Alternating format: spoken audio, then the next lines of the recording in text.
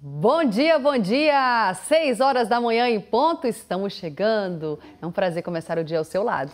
Vamos juntos então, né, Suelen? É bom dia para você que está em casa. Seja muito bem-vindo, seja muito bem-vinda. E a gente traz informação importante de que cidades como Goiânia, Aparecida e Anápolis já passam a aplicar a segunda dose de reforço, ou quarta dose, como muitas pessoas chamam, né?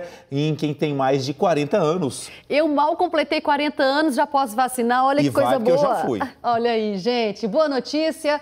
Nayara Santos está com a gente ao vivo, vai falar desse assunto. Bom dia, Nayara. Oi, Suelen. Bom dia para você, para o Anderson. Bom dia especial para você que está amanhecendo com a gente nesta terça-feira. A gente já começa essa edição do Bom Dia Goiás com notícia boa. É isso mesmo, Suelen. Daqui a pouquinho você já vai receber a quarta dose da vacina contra a Covid-19. O Ministério da Saúde fez o anúncio ontem, tá? E a Secretaria Municipal de Saúde daqui de Goiânia já avisou que nesta manhã já vai fazer o planejamento para começar a aplicar essa dose já a partir de hoje. O mesmo vai acontecer em Aparecida de Goiânia. Então, a expectativa é que você, já tem mais de 40 anos, já receba aí a, a segunda dose de reforço da vacina contra a Covid-19 já nesta terça-feira. Então, bora lá, gente, começar essa edição com notícia boa para você. Com certeza, Nayara, até já com todos os detalhes. Ih, agora sou eu, eu, Sueli. Pode você. Então tá bom. E por falar em vacina contra a Covid, a notícia de que, que os Estados Unidos devem vacinar bebês com mais de seis meses de vida encheu muitos pais de esperança aqui no Brasil. As autorizações partiram do Centro de Controle e Prevenções de Doenças e também do FDA, a agência americana equivalente à nossa Anvisa. E uma pesquisa da UFG feita nos esgotos de Goiânia revela o aumento de casos de Covid na capital. João Vitor Guedes, bom dia. Oi, Suelen, bom dia, bom dia ao Anderson, bom dia a todos. Esse monitoramento da UFG revelou que esse número aumentou sete vezes na última semana. Isso indica que o vírus da Covid-19 voltou a circular com força aqui na capital. A gente vai falar como que funciona esse monitoramento e a importância dele hoje no Bom Dia Goiás. Enquanto isso, você pega carona com a gente no carro BDG. Já estamos aqui bem ao lado da BR 153. Subimos aqui a Avenida Segunda Radial, estamos fazendo o contorno aqui para voltar na região das concessionárias, das faculdades. Nesse momento aqui na cidade, trânsito tranquilo nos dois sentidos para você que vai pegar agora o trânsito para ir para o trabalho, deixar filho na escola. Fique com a gente no Bom Dia Goiás. Impressionante a escuridão da cidade nesse começo de manhã, em plena região metropolitana. Os goianienses que pagam imposto caro têm que andar no escuro. Vai começar daqui a 10 minutos uma nova estação. Ô, Rosane Mendes, o inverno chega já já, exige aí atenção redobrada com a saúde, né? Bom dia. Dia para você, bom dia para Suelen, para você aí de casa. O Anderson estava falando aí que tá escura as ruas, né? Pois é, nesses primeiros dias, até quinta-feira você ainda vai perceber que a gente vai ter menos claridade aí, menos luz do sol de, durante o dia, é o solstício, né? Digamos assim. E olha, você tem que se preparar porque o tempo fica seco, a gente vai ter nevoeiro por conta da massa de ar. As manhãs massa de ar frio que cerca aí o Brasil, a gente vai ter um pouquinho as manhãs um pouco mais frias, mas a gente já está acostumado, né? Logo esquenta de novo. Mas ainda hoje a gente fala mais sobre como é que vai ser esse nosso outono aqui no nosso cerrado maravilhoso, viu, Anderson e Suelen? Valeu, Rosane. O preço do diesel disparou e já está até mais caro que a gasolina em alguns postos, isso em todo o estado. Frete mais caro significa também aumento no supermercado. Além dos caminhoneiros, as transportadoras também sofrem com a alta no diesel. Em um ano e dois meses, nós tivemos um aumento no combustível, que é o nosso principal insumo, de 100% do custo. Só que toda a cadeia está atrelada. O fim de semana marcado pela violência contra a mulher chama a atenção pelo aumento desses casos. Só nos três primeiros meses do ano, 53 mulheres foram vítimas de feminicídio em Goiás. O que a gente percebe é que muitas mulheres, elas denunciam pedem medida protetiva e acabam sendo mortas. Esse assunto ele tem que ser bastante trabalhado e a gente só vai resolver esse problema com a educação. Você separa o lixo da sua casa? Tem um espaço para o lixo reciclável? A iniciativa ajuda o meio ambiente e o futuro do planeta. E se você quer fazer a sua parte, quer fazer direitinho, não sabe como, tem dúvidas? Mande a sua pergunta para a gente pelo nosso WhatsApp, é o 98564-8564. Hoje é dia 21 de junho, dia do mídia, profissional importante para que produtos e serviços possam ser levados ao consumidor através dos vários meios de comunicação. Aos nossos amigos mídia, parabéns! 6 horas e 5 minutos, o Bom Dia Goiás está no ar para você.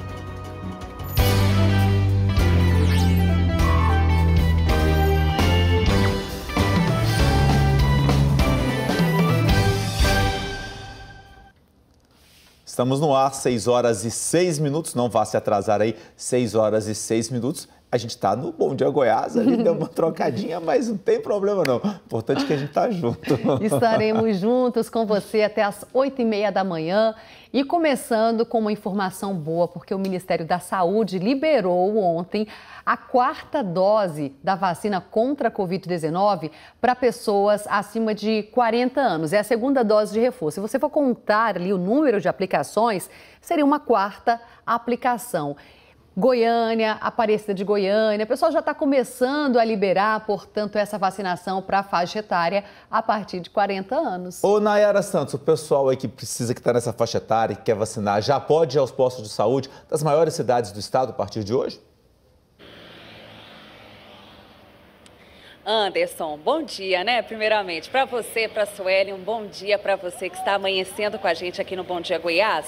Ó, é o seguinte, o Ministério da Saúde fez esse anúncio ontem a respeito dessa liberação da aplicação da segunda dose de reforço ou a quarta dose da vacina contra a Covid-19. A Secretaria Municipal de Saúde de Goiânia e a Aparecida de Goiânia já avisaram para a produção da TV Anguera que vão se reunir durante esta manhã para começar a fazer o planejamento e a expectativa é que sim, já a partir desta terça-feira, os funcionários da saúde já começam então a fazer a aplicação da segunda dose de reforço para as pessoas acima de 40 anos, porque até ontem estava assim, somente pessoas com 50 anos ou mais, imunossuprimidos ou os trabalhadores da saúde é que estavam recebendo esta segunda dose de reforço da vacina contra a Covid-19. Então, a expectativa é que ainda nesta terça-feira já começa a aplicação aí desta segunda dose de reforço.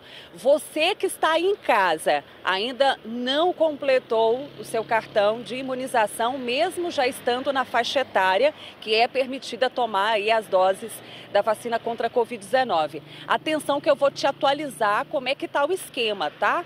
Então, se você tem mais de 40 anos, eu te dou uma dica, ficar atento aqui no Bom Dia Goiás, que assim que a secretaria dizer pra gente, estamos aplicando, a gente já vai te dizer, tá? Então, maiores de 40 anos, já são quatro doses. Pessoas de 12 a 39 anos, três doses da vacina contra a Covid-19. De 5 a 11 anos de idade, duas doses. Acabei de receber a informação aqui que já está definido. Então, já a partir de 8 horas da manhã, a Secretaria de Saúde de Goiânia e de Aparecida de Goiânia já começam então a aplicar a quarta dose da vacina contra a Covid-19. Ô, gente, é bom demais anunciar isso, né, Anderson? Suelen, que estava aí perguntando se já poderia receber. Então, sim, Suelen, já saindo da TV, já pode ir no posto de saúde, que não precisa fazer agendamento e já receber, então, a segunda dose de reforço da vacina contra a Covid-19. Pois é, Nayara, tão boa quanto a notícia, seria tão bom também que todo mundo se conscientizasse dessa mesma importância que a vacina tem para a Covid e para todas as outras vacinas que, infelizmente, estão atrasadas, né? O país está andando para trás com relação à prevenção. Tomara que a boa notícia da vacina para acima de 40 anos venha junto com a boa notícia da vacinação cada vez maior, cada vez mais em massa. Nayara, daqui a pouquinho a gente volta a conversar. Legal, né? E a gente também traz informações sobre o serviço de testagem de Covid que continua sendo oferecido aqui na capital. Se você quer fazer o teste, quer saber se está com Covid ou não, então acompanhe aqui nos nossos telões as informações sobre os endereços, Primeiro, onde é preciso fazer agendamento, onde você tem que agendar lá nos canais da prefeitura, são as tendas. Praça da Juventude, no Jardim das Aroeiras, lá no Cepal do Setor Sul, no estacionamento do Parque Mutirama e na Praça do Comerciário. Aqui nas tendas, lembra vocês, tem que agendar um, um, antes de ir lá para esse local direto, para não passar a senão não consegue atendimento. Então, nas tendas, esses locais funcionam hoje para testagem da Covid-19. Agora, você acompanha junto com a gente onde serão os atendimentos na modalidade drive-thru. Você chega de carro e já a sua entrada ali, o seu teste já é facilitado. Em frente à Escola Municipal Waterloo Prudente, lá na Avenida Felipe Camarão, número 777, no bairro Goiás. E tem drive-thru também no Jardim Botânico de Goiânia, na Avenida Botafogo, lá no setor Pedro Ludovico. Então, são esses os locais. As informações você também encontra em nosso portal de notícias. Sempre a gente disponibiliza lá para vocês no G1 Goiás os detalhes sobre a vacinação e também sobre a testagem da Covid-19. A gente vai seguir falando desse assunto. É, porque se tem essa testagem que as pessoas vão, fazem, porque tem sintomas, ou porque tem preocupações, ou porque conviveram com alguém que teve Covid, tem uma espécie de pesquisa compulsória, é um estudo da UFG. E esse estudo aponta que a carga viral em Goiânia da Covid-19 é a maior do último ano foi um aumento muito grande. A pesquisa foi feita entre 29 de maio e 18 de junho. O João Vitor Guedes está chegando aqui com a gente. Ô, João, essa é, essa, pesquisa da UFG é como se fosse fazendo uma, uma grande amostragem em Goiânia, independente de ir aos pontos de testagem, né? É, o que, que isso significa na prática para a gente aqui entender a importância dessa pesquisa? Anderson, significa na prática que o vírus da Covid-19 voltou a circular com mais intensidade agora nesses últimos dias aqui na capital. Como você bem disse, a testagem, quando uma pessoa vai lá, testa, também é um parâmetro para medir como que o vírus está circulando na capital. Mas a amostra do esgoto também serve como uma amostra mais geral da circulação desse vírus, porque ele acaba também que prevê, que vê aí como que está essa circulação. Isso porque o vírus da Covid-19 também é detectado nas fezes e na urina humana. Então, quando os técnicos em saúde, os profissionais da UFG fazem esse estudo, revelam, por exemplo, como que está essa circulação do vírus. Essa testagem do esgoto, do esgoto essa amostra do esgoto feita pelo Instituto de Química da Universidade Federal de Goiás, é realizada desde o ano passado. E agora, nesta semana aí, como você bem disse, a semana de 29 de maio a 18 de junho revelou que o vírus da Covid-19 no esgoto aumentou sete vezes em relação às outras testagens. Essas amostras são coletadas ali na estação Hélio Seixo de Brito, que fica na Avenida Perimetral Norte. Essa estação que reúne pelo menos 70% de todo o esgoto aqui da capital. Como é o maior local, e aumentou então essa quantidade, isso significa que o vírus da Covid-19 voltou a circular. E daí os responsáveis por essa pesquisa indicam que a partir desse resultado, que mostra uma circulação maior do vírus, é necessário então continuar com essas medidas de segurança e também mostra que a vacinação tem sido muito eficaz. Isso porque a quantidade de mortes e de internação grave, apesar do aumento aí da circulação, é, tem favorecido então a proteção das pessoas. As pessoas elas continuam doentes, mas o número de mortes e também de internação grave diminuiu bastante. Segundo a UFG, essa, esse tipo de estudo vai continuar já nesses próximos meses para continuar acompanhando aí e medindo como que está a circulação do vírus aqui na nossa capital a partir da coleta do esgoto. Viu, Anderson e Suelen? É interessante a gente ir acompanhando toda essa movimentação e sempre, né, buscando a prevenção. Está no local mais fechado, usa máscara, vacina, tome seus cuidados, continue se higienizando, fazendo cada um a sua parte para a gente ir segurando um pouquinho esses números. Ô João Vitor, muito obrigado. Daqui a pouco a gente volta a conversar.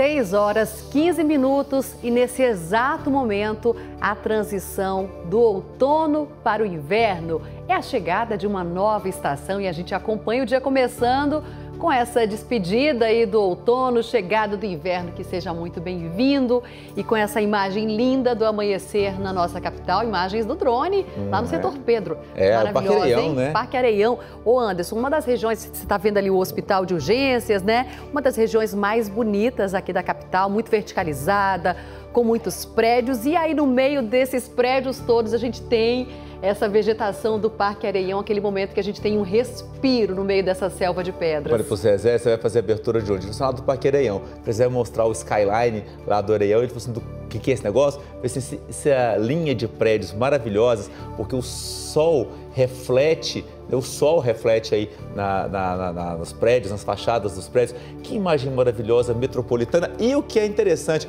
o, o, o Fefe, Fernando, o Fê, Alfredo, corta aqui pra gente, ó a Suelen está fazendo uma composição com o. Olha só. Olha ali, a Suelen Esse céu e o maravilhoso, tá gente. Está combinando. Está combinando. E a cidade está bem escura ainda, né? A gente observa Obrigado, esse, esse, esse vermelhão aí. Agora é o seguinte, o sol mesmo, ele só começa a brilhar, nascer completamente, isso por volta das 6h44, vai demorar, agora vai ser assim. É uma das características do inverno que está começando agora, tá, meu povo?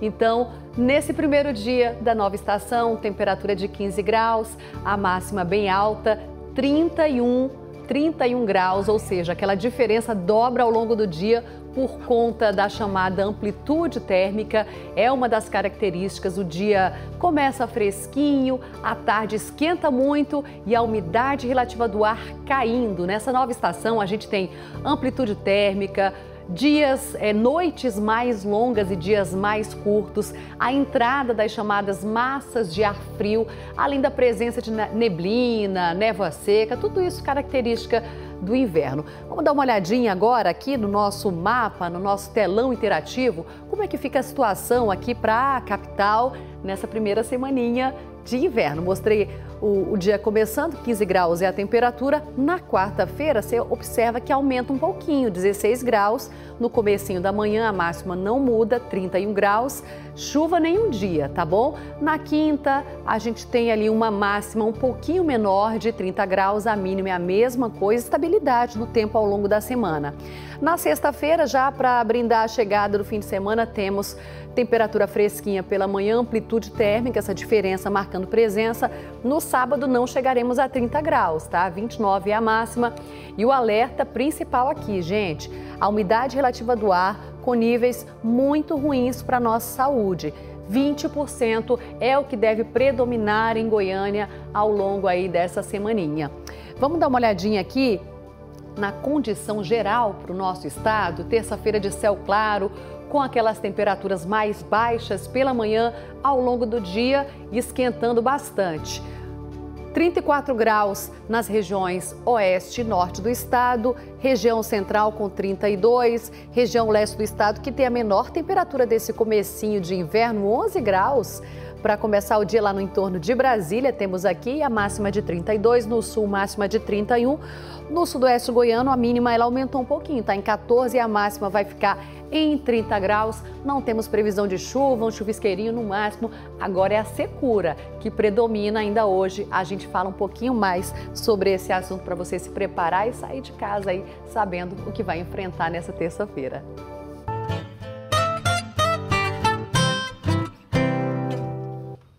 6 e 19, olha a hora, não se atrase para os seus compromissos né, desta terça-feira, 6 e 19. Pecuaristas reclamam de prejuízos depois de uma baixa no preço da arroba do boi.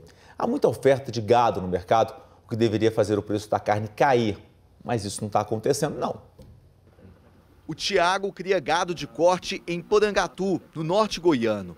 Parte dos animais dele está no ponto de abate, mas continua sobrando no pasto o que tem deixado o pecuarista preocupado. Os custos estão muito altos, no mercado interno o dinheiro parou de circular, né? E a exportação devagar. Em janeiro deste ano, o preço da arroba do boi no estado era 310 reais. Nos últimos dias, esse valor caiu para 270, uma redução de quase 13%. Uma arroba em baixa e o custo lá em cima. Então isso aí é uma equação que ela não vai longe, ela não dá certo. Ela, ela tem que para ela ter margem hoje, nós teríamos que ter um preço de arroba aí de 320, 330 reais e arroba hoje na casa de 270 reais. Nessa propriedade aqui do norte de Goiás, o confinamento teve que começar antes do previsto. A justificativa é essa: pasto seco. E com a pressão do mercado pela entrega de uma carne de qualidade, os custos nas propriedades aumentaram. Com o aumento das commodities, milho, farinha de soja, né, núcleo para, para confinamento, é, aumentaram, dobraram, triplicaram os seus, seus valores. Tudo isso tem uma explicação. O que nós estamos percebendo é que tem um movimento sazonal nessa época do ano agora, de uma diminuição da oferta de pastagem, principalmente pelo início do período seco, há uma oferta maior de gado e isso já gera uma pressão de preço para baixo. O consumidor final tem pesquisado mais e até mesmo substituindo a carne bovina por outra. A gente tem que pesquisar direitinho para poder ver se compra uma carne mais barata, compra uma carne de porco, compra um pedacinho de carne de frango, né? Porque optando pelo frango, né? Tá mais barato o frango do que a carne bovina.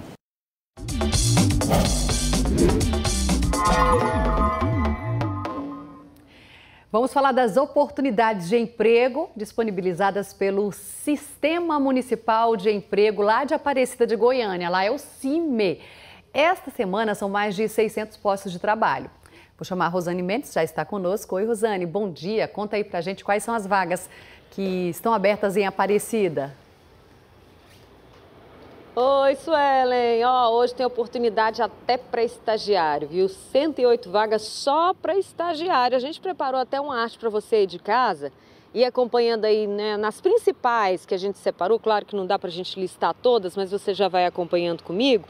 Essas 108 vagas aí, 104 vagas para estagiário, é para trabalhar na área de recursos humanos, psicologia e arquitetura e também para estudantes do ensino médio, mas tem que ter a partir de 16 anos, tá? Tem 55 vagas para auxiliar de logística, 50 para motorista de caminhão, 46 vagas para ajudante de obras, 35 para auxiliar de serviços gerais, 25 vagas para pedreiro e tem mais, 21 vagas para operador de caixa, 10 para balconista, 7 para vendedor interno, também tem vaga para secretária, assistente administrativo, atendente de farmácia. Nossa, Rosane, estou interessada, como é que eu faço? Entra aí nesse site, aparecida.gov.gov.br Lá você já vai achar lá a opção lá para você dar uma olhada direitinho em todas as vagas, os pré-requisitos, o que, que, ela tá, que, que você precisa ter para preencher esse perfil. Agora você fala assim para mim, não, Rosane, eu já trabalhei numa dessas vagas aí, eu já tenho experiência, então corre lá numa das unidades do SAC, né, o Serviço de Atendimento ao Cidadão lá em Aparecida de Goiânia, são três unidades. Lembrando que não precisa mais fazer agendamento, é só você chegar lá com seus documentos pessoais identidade, CPF, comprovante de endereço. Se possível, leve seu currículo também, porque você já deixa cadastrado. Se essa vaga, uma dessas vagas, não der certo para você agora, você já fica cadastrado para uma próxima vaga que surgir que tenha o seu perfil. Então, se você se encaixar no, no perfil de uma dessas vagas, você já vai ser encaminhado lá para a empresa para já fazer a entrevista de emprego. Aí você arrasa lá, já consegue esse emprego Manda uma foto para contar aqui para gente, como a Nayara Santos gosta de pedir, viu? O Anderson e Suelen. E no mais, a gente fica daqui desejando boa sorte e falando para você entrar no portal G1 Goiás, que lá tem mais informações também. Tá tudo lá, né? Para o pessoal acessar g1.com.br barra Goiás. Te chamo daqui a pouco, viu, Rosane? Eu sei que você tem uma lista de assuntos importantes nessa terça-feira. Até já. 6 e 24 a Justiça determinou que a Prefeitura de Goiânia tire as pedras que foram colocadas no viaduto próximo ao CEPAL do Setor Sul. O Honório Jacometo vai trazer os detalhes dessa decisão para a gente.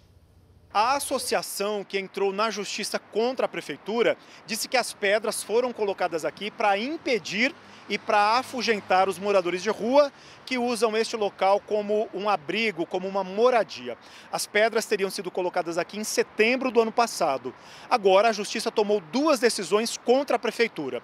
Primeiro, o município tem que retirar as pedras em até 60 dias. E depois, não pode mais colocar esse tipo de obstáculo, pedras, estacas, madeiras, para impedir o acesso desses moradores. Nós ouvimos o presidente da associação que entrou na Justiça. Não cabe o município, qualquer município que seja, agir de forma que lese direitos constitucionais, inclusive o direito à moradia de quem quer que seja.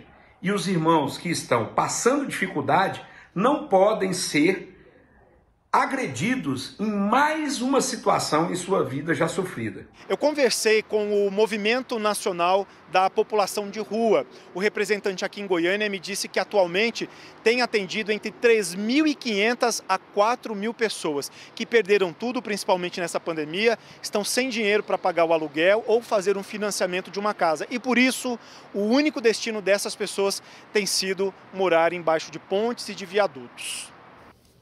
Bom, em nota, a Procuradoria-Geral do município de Goiânia disse que espera ser notificada da decisão da Justiça para tomar as providências necessárias. A Secretaria de Infraestrutura Urbana da capital informou que essa é uma ação de manutenção de obras e foi feita para conter uma erosão no local do viaduto. A CEINFRA disse também que todo o serviço foi acompanhado pela Secretaria Municipal de Desenvolvimento Humano e Social.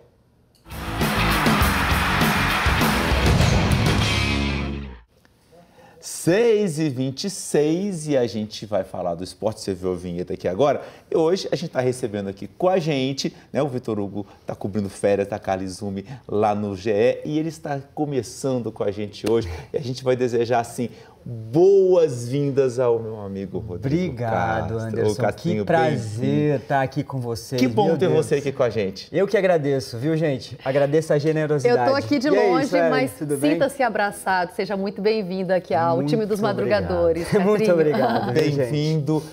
É, o Castrinho. que, que foi? Não tem como não falar. Eu conheci o Rodrigo criancinha Deixa mais tomava tá conta dele porque ele brincava com a gente, a gente ficava vigiando aquele menino lá fazendo bagunça e brincando.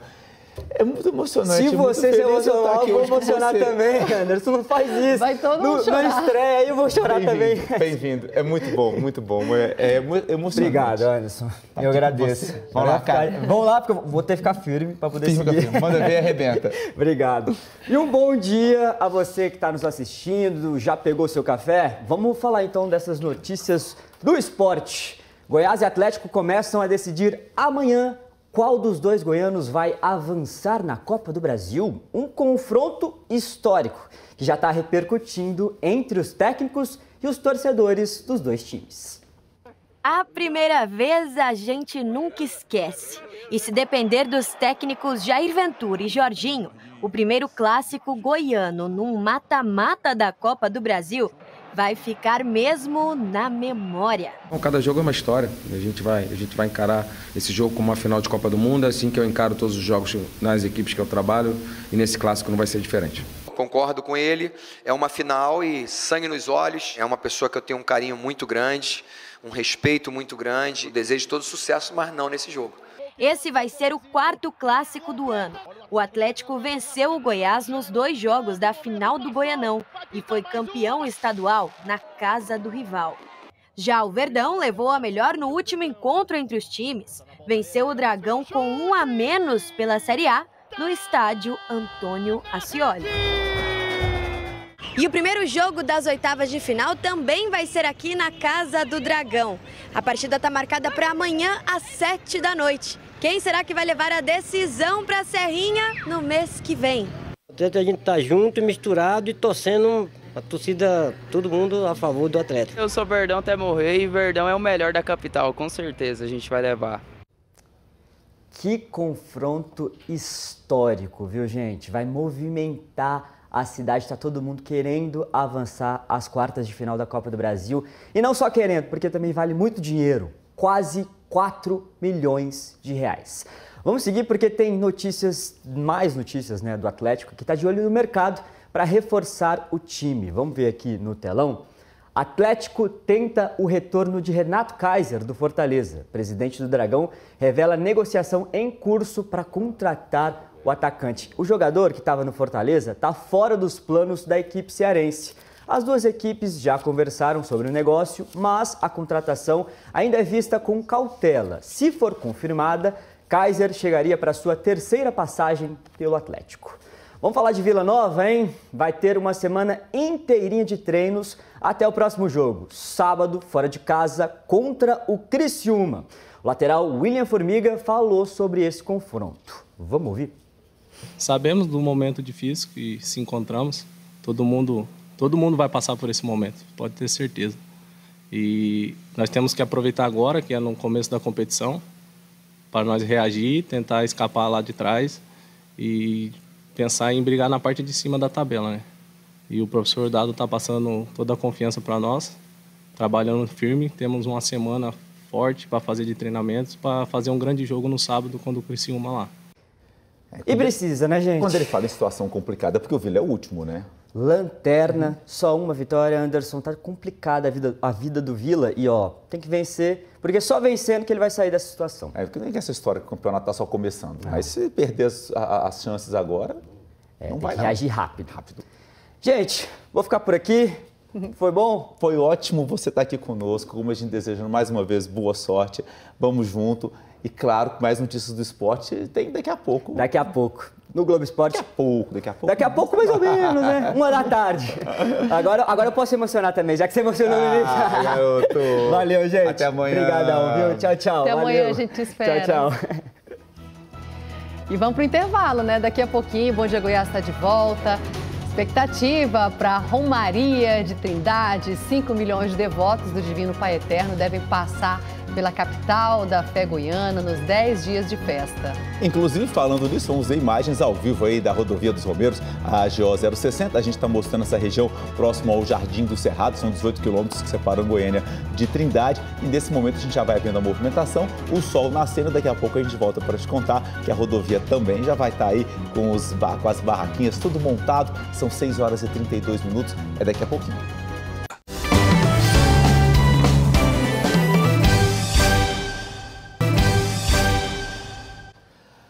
6 horas e 34 minutos, está chegando agora da turma das 6 e meia, acabou de ligar a TV. Seja muito bem-vindo ao nosso Bom Dia Goiás. Vamos juntos até as 8 e meia da manhã. Vamos falar agora sobre a Romaria do Divino Pai Eterno. Os romeiros vão estar de volta à Trindade. 5 milhões de devotos do Divino Pai Eterno devem passar pela capital da fé durante 10 dias de festa. E os preparativos para a retomada presencial da Romaria estão a todo vapor, né? Tem morador que vai aproveitar a oportunidade, ele pega a casa dele, coloca ali para alugar enquanto o pessoal está na festa e vai ganhar um extra.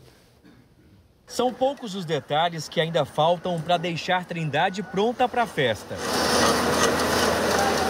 O clima da Romaria já toma conta do comércio que alimenta a expectativa de boas vendas este ano. Nós temos a expectativa de vender muito, né?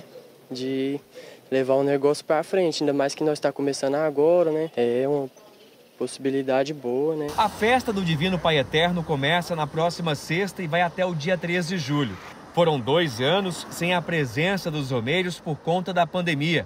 A expectativa é que agora entre 4 e 5 milhões de pessoas participem do evento. A rede hoteleira já atingiu 70% de ocupação, mas quando a festa começar vai ser difícil encontrar algum quarto disponível. Uma opção que pode sair até mais em conta é o aluguel de casas ou barracões, como este aqui, que tem cozinha, sala, dois quartos e banheiro. O valor pedido pelo aluguel é de 4 mil reais pelos 10 dias de festa. Mas o Romeiro pode encontrar também o aluguel de apenas um dormitório, se o espaço atender à necessidade dele. Pela cidade inteira, tem ofertas de aluguel. A Alzirene já está organizando dois barracões no fundo da casa dela para receber os devotos do Divino Pai Eterno. O Romeiro vem, traz é, as coisas de cozinha e o colchão dele, né? Monta aqui a estrutura, eu deixo sempre limpinho, eu pinto toda, todo ano de festa, eu passo uma tinta para ficar confortável, né? Tem anúncio até no chão para alugar a calçada. Muitos comerciantes pagam até mais de mil reais por metro quadrado para montar as bancas. Esta tem mais de 300 mil peças de roupas. Aqui, o dono do imóvel demoliu algumas lojas para deixar todo o lote aberto e alugar o espaço para a montagem de barracas está terminando os banheiros e já fechou três locações. Eram umas lojas velhas e o bombeiro veio e condenou as lojas, a estrutura, né? E aí a gente aproveitou e fez esse espaço para esse ano. Na rodovia dos Romeiros, muitas barracas já estão montadas para servir os peregrinos com várias opções de comida, bebida e produtos religiosos. Para o Valdivino, que passa por um momento difícil em casa, a Romaria é a esperança de ganhar um dinheiro extra com a banca de espetinhos. Vai ser a salvação para pagar as contas que estão apertando o bolso com essa festa agora do Divino Pai Eterno aqui, da festa Trindade, né? Mas Deus ajudar e eu vou pagar em nome de Jesus. Faz diferença então essa festa, esse movimento que vai ter aqui na rodovia? Faz diferença e muito, não só para mim, mas para todos que participam dela, para todos. Pois é, falta menos de uma semana para começar a Romaria do Divino Pai Eterno em Trindade. Como você viu aí nessa reportagem, está todo mundo na expectativa pela chegada dos romeiros, comerciantes se preparando. E a expectativa é vender bastante. Nayara Santos está lá na Rodovia dos Romeiros explica para a gente um pouquinho sobre essa movimentação, esses dias que antecedem a festa, Nayara. Pois é, Sueli, a gente fala ao vivo aqui da Rodovia dos Romeiros. Quinta-feira, imagine só, isso tudo aqui, ó, já vai estar tá cheio de fiéis que vêm de todos os cantos do estado, do interior, até de outros lugares do país, para poder fazer a romaria e a peregrinação. Começa sexta-feira a festa do Divino Pai Eterno.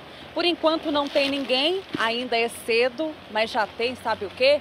Barraca! Já tem barraca aqui, o pessoal já está se preparando para poder receber os romeiros, né, que passam horas aqui em oração na Romaria, então, do Divino Pai Eterno.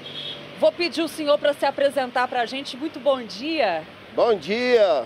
Qual Meu é nome seu... é Valdivino Pereira da Silva, do Churrasquinho Boca Quente. Muito bem. Seu Valdivino, conta para a gente aqui, que dia o senhor chegou aqui já na Romaria, na, na rodovia? Ah, já tem uns 15 dias que eu estou aqui. Já tem uns 15 dias. Agora montar mesmo, eu montei ontem de ontem.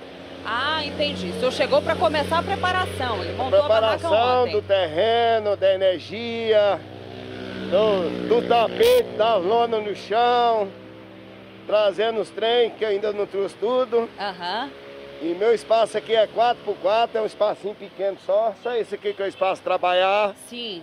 Mas tem um lugar lá no fundo de eu posar, que é riba da conselheria do meu carro. E o senhor tá dormindo aqui, né, seu Valdir? Tô dormindo aqui. Vou, vou, ah. lá, vou lá em casa, tomo banho e volto. O senhor mora onde? Eu moro em Goiânia, moro no Jardim Liberdade, região noroeste. Ô Anderson, ele tá te ouvindo? Ô. Quer fazer uma pergunta para ele? Pode fazer. Eu quero perguntar ao senhor Valdivino, muito bom dia para o senhor. Quer dizer então que o senhor acorda cedo para trabalhar aí na barraquinha, mas todo dia o senhor acorda cedo? É isso mesmo, seu Valdivino? Bom dia, Anderson. Eu acordo todo dia, de segunda a segunda, 4 horas da manhã. E te ouço todo, todo dia, 6 horas até as 8 e meia. Ah, sério, Ô, seu Valdivino? Obrigado. Vamos mostrar aqui. Ô, Anderson, e Suelen, a gente vai fazer figa aí em vocês e em vocês que estão em casa também, viu? O seu Valdivino vende espetinho. Conta pra gente há quanto tempo, seu Valdivino? Tem mais de 20 anos que eu vendo espetinho. Eu não sei se eu posso falar. E quem me incentivou eu foi o William Rezende Machado. Ah, é? Eu sou o churrasqueiro dos mutirões em Goiânia e do estado de Goiás. Os olhos do senhor chegam a lacrimejar. É verdade. Muitas emoções. Depois de dois anos sem a festa aqui em Trindade, qual que é a expectativa do senhor em relação às vendas e também ver toda a movimentação aqui na rodovia? Eu acho bonito demais a, a festa Trindade. Não só de eu estar aqui trabalhando, ganhando pão de cada dia, você faz muitos amigos. É uns dando risada, é uns gritando, é pessoas que já conheceu, né? E é bom demais. Seu Valdivino. Primeiramente, agradecer a Deus que nós tivemos essa oportunidade de ser sorteado. Uhum. Ali na Goinfra, foi um sorteio, uma inscrição transparente, bonita, viu? Não tem maracutaia. Eu agradeço o governo do estado de Goiás. Seu Valdivino, Ó, ele até preparou um cafezinho pra gente aqui, viu, Anderson Sueli? A gente agradece a participação do senhor, te desejo uma boa sorte aí, boas vendas. Obrigado. E eu vou encerrar essa participação fazendo o quê? O senhor me, o senhor me ajuda aqui fazendo favor, seu Valdivino? Tomando um cafezinho, vou oferecer para vocês que estão em casa e para vocês aí no estúdio também. Seu Valdivino acordou 4 horas da manhã, preparou o cafezinho pra gente. Então, ó. Manda um abraço pra Hanna, minha neta. Um excelente dia para todo mundo, mas daqui a pouco eu volto, viu? Tem mais notícias. Obrigada, Nayara. Por favor, seu Valdivino, receba o nosso abraço. Eu sei que ele é muito fã do Bom Dia Goiás. Ficou muito feliz em participar aqui do nosso jornal e nós daqui também ficamos felizes em ouvir um pouquinho da sua trajetória, dessa sua relação com a Romaria do Divino Pai Eterno, dessa alegria no coração que é ver novamente os romeiros passando aí pela, pela, nossa, pela nossa rodovia, né? Pela nossa, chegando à nossa capital da fé. Que legal. Seu Divino representa aí todos esses ambulantes, todo esse pessoal que monta as barraquinhas e que durante todos esses dias passa dia e noite lá, fica praticamente 24 horas tomando conta das barraquinhas, fazendo essa venda, atendendo aos romeiros. Ao seu Valdivino, parabéns, boa sorte, em nome dele, a todos os outros aí que vão estar trabalhando e que, se Deus quiser, a gente vai se encontrar aí nesse trajeto. Obrigado, seu Valdivino. pensando no cheirinho Obrigado, bom que deve estar esse espetinho aí. Pensa que delícia. Tô pensando no gosto. Oh, meu Deus. Obrigada.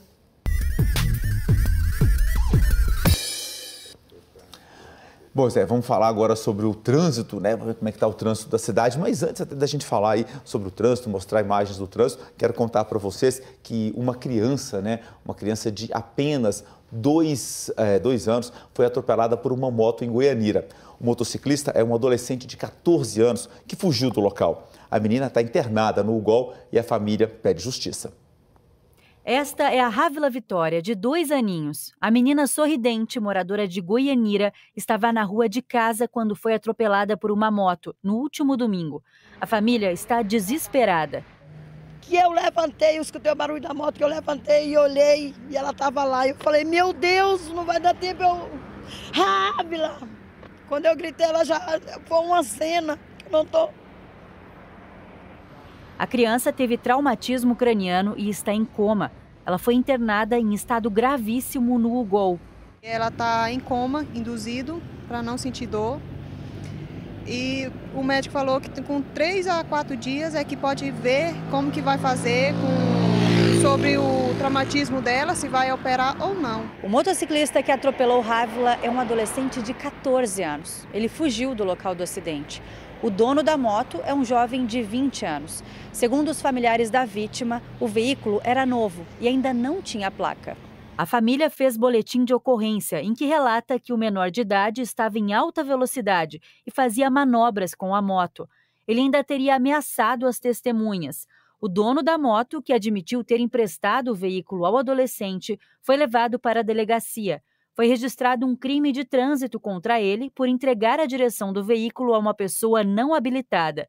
A mãe da pequena Rávila implora pela saúde da filha e pede por justiça. Eu quero justiça, eu quero que a polícia tente achar ele, sabe, que ele pague, pague, porque amanhã ou depois ele vai ficar de novo solto aí, fazendo vítima. Bom, e a Rávila ela precisa de doação de qualquer tipo de sangue. Quem puder, faça a doação para Rávila Vitória dos Santos Costa, no UGOL, o hospital ali da região noroeste. Nós ainda não conseguimos contato com o jovem que é dono da moto e emprestou para o adolescente que atropelou a menina, né? E um acidente envolvendo um carro e uma moto deixou uma vítima fatal no quilômetro 248 da GO 230, isso foi em Goianésia. O acidente aconteceu na saída para Séries. O SAMU foi chamado para atender a ocorrência. A passageira da motocicleta, motocicleta teve a morte confirmada no local mesmo. A vítima tinha 27 anos de idade. O motorista do veículo estava bêbado, o que foi comprovado por meio de um teste de bafômetro. O motorista vai responder por embriaguez ao volante, lesão corporal e homicídio. Vamos dar uma olhadinha agora nas ruas de Goiânia. A gente está aqui com o nosso flash link Luciano Moraes. Ele está entrando ali na, na agora, saindo da Feira de Santana para entrar na Rio Verde, bem aí na frente da tela onde está o sinaleiro ali, ó, à direita ou à esquerda. A esquerda não pode, à direita, Avenida Rio Verde. O Luciano Moraes mostrando que essa região aí está com um trânsito intenso, porém, olha só, vamos ver como é que está Rio Verde está intenso, está fluindo, mas você vai demorar um tempinho aí a mais porque a movimentação no sentido Aparecida Goiânia é intenso nesse momento na Rio Verde. Zé do Drone está sobrevoando a região central de Goiânia. Vamos ver como é que ele está agora. Ele está na Avenida Anhanguera, sentido ali Praça, Terminal Praça A, naquela região entre o centro e o setor universitário. Então a gente está acompanhando que a movimentação na Avenida Anhanguera agora na região central de Goiânia, centro do setor universitário, é uma movimentação tranquila, é um bom caminho para você que pode aí sair, que vai sair de casa e passar por aí nesse momento às 6 horas e 47 minutos. Uma mulher denuncia que teve o atendimento negado no cais do bairro Goiá, aqui na capital. Essa mulher conta que o cais estava vazio e, assim mesmo, falaram que é, iriam atender somente quem tivesse com a ficha vermelha. Ainda, segundo a mulher, não tinham pacientes ali naquele local com prioridade. Ela entrou e pediu para a médica atender, mas ela relata que, além de recusar a atender, de se recusar a atender, a médica ainda fez um gesto obsceno. Esse caso teria acontecido no domingo. A Secretaria Municipal de Saúde de Goiânia disse que no momento citado pela paciente em vídeo, tinha só uma médica na unidade. O segundo médico apresentou atestado e, por isso, o atendimento estava voltado para pacientes graves, principalmente o pessoal que chega de ambulância, do SAMU e bombeiros. Quanto ao gesto que a médica teria feito, a secretaria disse que a denúncia vai ser verificada e que não concorda com nenhum tipo de atendimento desrespeitoso com os pacientes.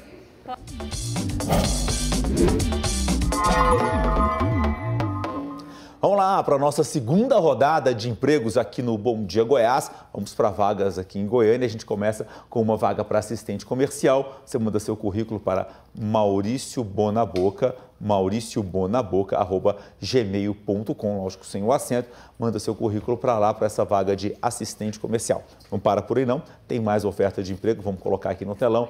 Tem vaga para auxiliar de produção e vaga para soldador montador.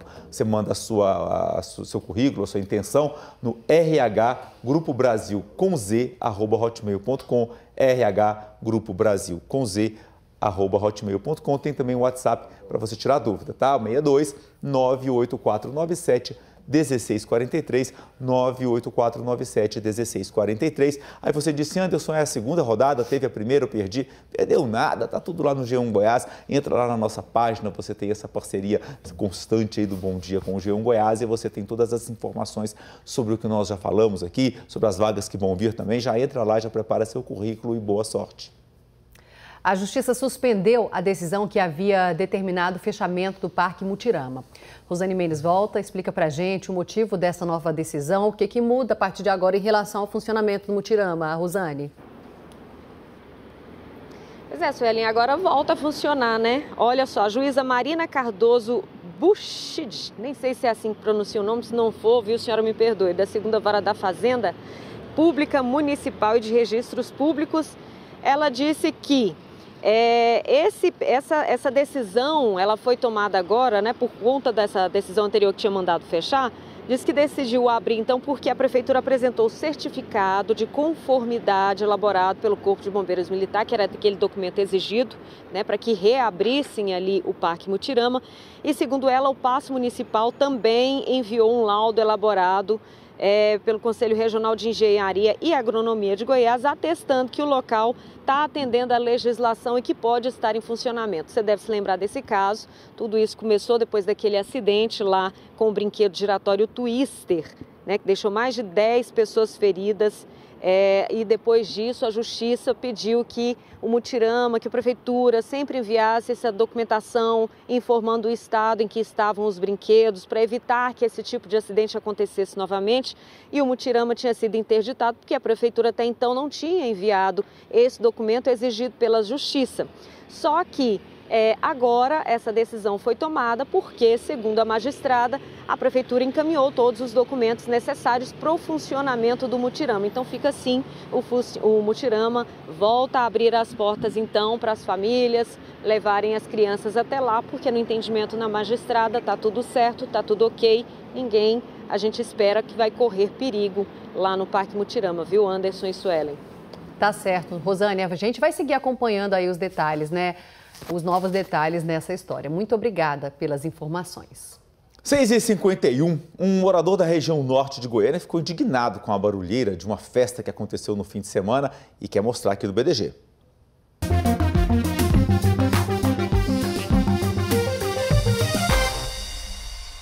Olha o tanto de família que mora aqui por perto. É, eu moro aí nessa região aqui. E a noite toda nós fizemos isso aqui, ó, a noite toda.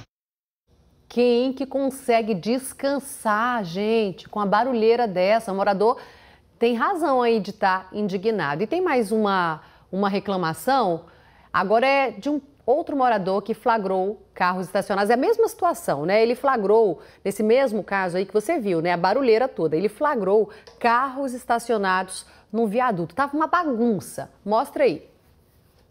Carros estacionados em locais cima aqui do viaduto. Olha onde os carros ficaram estacionados. Pois bem, a gente foi em busca de respostas para todos esses problemas e sobre os carros estacionados no viaduto.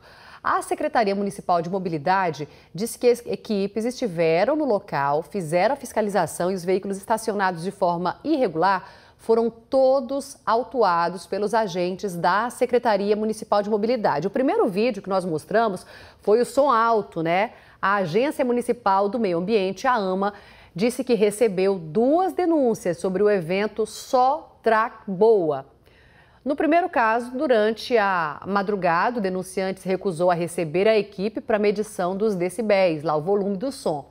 E a segunda denúncia foi depois das 8 horas da manhã, quando o evento já estava se encerrando. A AMA reforça que denúncias de poluição sonora devem ser feitas no telefone 161 e que é necessário receber os auditores para medição aí sonora. Nossa equipe pediu um posicionamento também da organização do evento. Não tivemos retorno até o momento. É preciso ter bom senso. Se a gente puder mostrar até o primeiro vídeo aí, gente, porque ó, não precisa nem ter um aparelhinho para medir esse som, gente. É absurdo. Eu fico com dó do pessoal que mora lá nessa região. Mostra aí o vídeo de novo pra gente. Olha o tanto de família que mora aqui por perto. É, eu moro aí nessa região aqui. A noite toda nós fizemos isso aqui, ó, a noite toda. Região do Passeio das Águas, na perimetral norte, com a Goiás Norte, toda essa barulheira aí causada por um evento e a reclamação dos moradores da região que pediram aí um pouquinho de bom senso, que respeite os limites, né? O som tem que ter uma, uma certa limitação e tem que ter respeito também com as pessoas que, ao invés da festa, preferem o sossego, né? Bom senso de todo mundo. Oi, você quer rever as nossas reportagens no seu celular, no tablet, no seu computador? Veja como é que você pode fazer. É muito fácil. No navegador do seu celular, basta você digitar g1.com.br Goiás. Na aba superior, você clica em Bom Dia Goiás e pronto. Lá você tem todas as nossas reportagens para compartilhar com sua família, amigos. É tudo na hora. Não perde tempo, é o BDG na palma da sua mão. Começou em Goiânia o Na Ponta do Nariz. É um festival internacional de palhaçaria e comicidade que já faz parte aí do circuito cultural goiano. Serão seis espetáculos presenciais, dois online e sete oficinas para o público. E, gente, é tudo de graça. Vai começar a palhaçada, mas calma, é no bom sentido. São os clowns, palhaços de teatro que fazem rir e se divertir no Festival Na Ponta do Nariz, que entra na oitava edição no Centro Cultural da UFG. E uma das peças apresentadas no festival é a Vamos à la Plaja, do grupo Bastet. É um espetáculo que brinca com a linguagem do palhaço, interage com a plateia e a gente trabalha com a linguagem do não verbal também. As atrizes, elas elas falam muito através da linguagem da mímica também, né? Então, é, é um espetáculo para as crianças de todas as idades. Tanta pureza, né? Tanta ingenuidade, a gente é, ter o nosso lado criança mesmo, que, que a gente põe para fora, né? Uhum. E tratar dos sentimentos, né? Da gente, do ser humano, do mundo mesmo. Uhum. Então acho que o Clau ele, ele mexe com toda essa imaginação, né? Com todo esse lado lúdico do ser humano. Já que Goiânia não tem praia, essas duas palhacinhas criaram uma praia imaginária. provocam a plateia para imaginar também e dar muita risada. Descontrair, divertir, as crianças, minha filha adora, eu também. Você tá gostando? Eu tô! Deu muita risada? Eu dei. O festival será dividido em duas semanas. Hoje é a vez do espetáculo Circo, Rudimentos de Comicidade, e amanhã o Distrito Zero sempre às 8 horas da noite. Já entre 27 e 30 de junho serão apresentados Urros do Ipiranga, O Sumiço da Carroça e Pailhaços. Os espetáculos online são Riso Nervoso, As Olívias em Cinco Histórias Neuróticas, do grupo paulista As Olívias, e A Costureira, da atriz suíça Gardi Hutter. A programação ainda conta com oficina com Gardi Hutter e cinco cursos gratuitos. Além né, da palhaçaria, da comunicidade, ele traz é, oficinas, né? então formação, né? É, tanto para as pessoas que já estão atuando na área, né? Porque, por exemplo, eu sou atriz, mas eu ainda não descobri meu palhaço. Então, é, existem oficinas específicas para isso. A entrada para os espetáculos presenciais é de um quilo de alimento não perecível. E esses alimentos aqui vão ser entregues para artistas que ficaram prejudicados com o cancelamento das atividades culturais durante a pandemia e que precisam muito dessa ajuda. Afinal, o que os artistas mais querem é estar no palco para levar arte e alegria.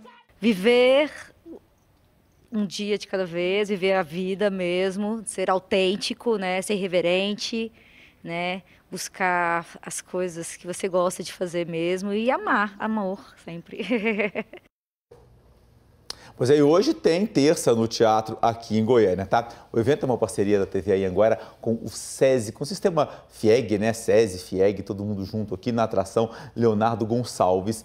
O horário é a partir das 9 horas da noite no Teatro SESI, que fica ali na Avenida João Leite, né, ali depois do Ferreira Pacheco. Virou ali aquela entradinha ali para. Você vem para Negrão de Lima ali, passou ali, a, passou pelo Negrão de Lima ali, entrando no, no pro Jaó, você vira à esquerda, aí você vai chegar no setor Santa Genoveva, tem o Clube Ferreira Pacheco, logo depois o Teatro SESI ali na Avenida João Leite, tá bom?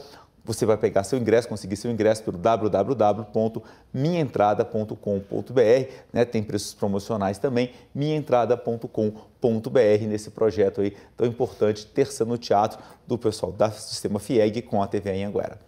Ó, oh, tá chegando uma informação pra gente agora, tá aí no incêndio. telão já, Anderson, incêndio. Acabou de chegar essa informação, nosso flash link tá em cima sempre das principais informações nesse comecinho de manhã foi na Avenida Uirapuru, no setor Morada dos Pássaros, em Aparecida de Goiânia. Pelo que o, o Luciano apurou de informação, seria uma, uma pane elétrica que acabou provocando fogo nesse veículo. O pessoal dos bombeiros aí já controlou, mas não sobrou absolutamente nada do veículo. A Anderson. pessoa estava indo trabalhar, né, Sueli, pelas informações, e a, é bem naquela baixada que tem um córrego ali do pessoal que vem da morada, vem bem da morada dos passos, é bem naquela subida, uma subida um pouquinho complicada, é um pouco mais íngreme, né? E o pessoal ali é, passa um pouco até mais devagar e tudo. Então, eu tenho a impressão que quando ela percebeu, a pessoa estava indo trabalhar, a pessoa percebeu que estava com algum problema, já conseguiu parar, não teve ferimentos. Impressionante mas... como isso é rápido, né? De repente, rápido. começa o fogo, quando você vê o carro está destruído. Muito rápido, o pessoal do bombeiro conseguiu controlar, não tem mais risco para ninguém.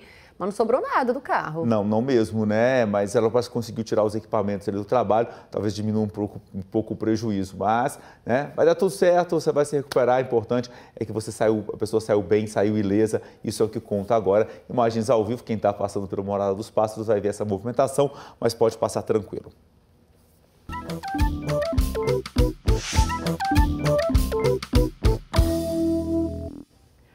Hora de dica boa aqui no Bom Dia Goiás. E presta muita atenção porque essa dica de hoje é tão especial, sabe por quê? Porque é o cuidado que todo mundo precisa ter com o meio ambiente, com o futuro, né, Anderson? A gente tem que pensar nisso agora. Vamos falar, sabe o que, que a senhora está explicando? É reciclagem. É dar aquela destinação correta para o que pode ser reciclado. Isso traz benefício para o meio ambiente, para a saúde pública, né? É, para os bens que a gente pode aí, é, ter de maior, que é a nossa saúde. Então, vamos saber como separar o lixo de casa. Tem dúvida? O João Vitor Guedes foi atrás de essas explicações no nosso Dica É. O João Vitor, conta pra gente como é que a gente pode fazer isso de uma maneira simples, tranquila, dentro de casa, para a gente não perder essa oportunidade e fazer parte dessa corrente do bem.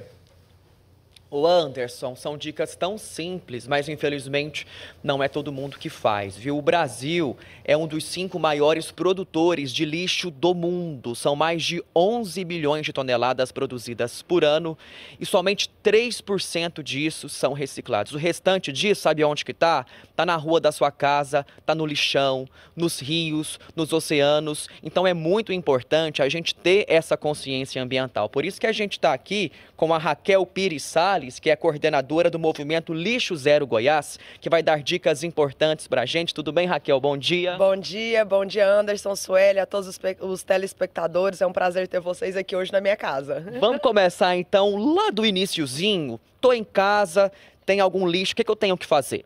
Bom, pessoal, primeira coisa é separar os recicláveis, dar uma enxaguada, mantê-los limpos para que você possa condicionar de uma forma organizada e sem gerar transtornos na sua casa. Então, ó, vasilhas, essas embalagens plásticas, embalagens de produtos de limpeza, garrafa d'água, caixa de leite, produtos de limpeza, produtos de higiene pessoal, tudo isso daqui é reciclável, gera trabalho, gera renda e quando mandado para o lugar errado, gera problema ambiental e gera poluição, né? Agora uma dica muito importante, por exemplo, isso aqui, ó, papel higiênico. Você comprou o papel higiênico, tirou.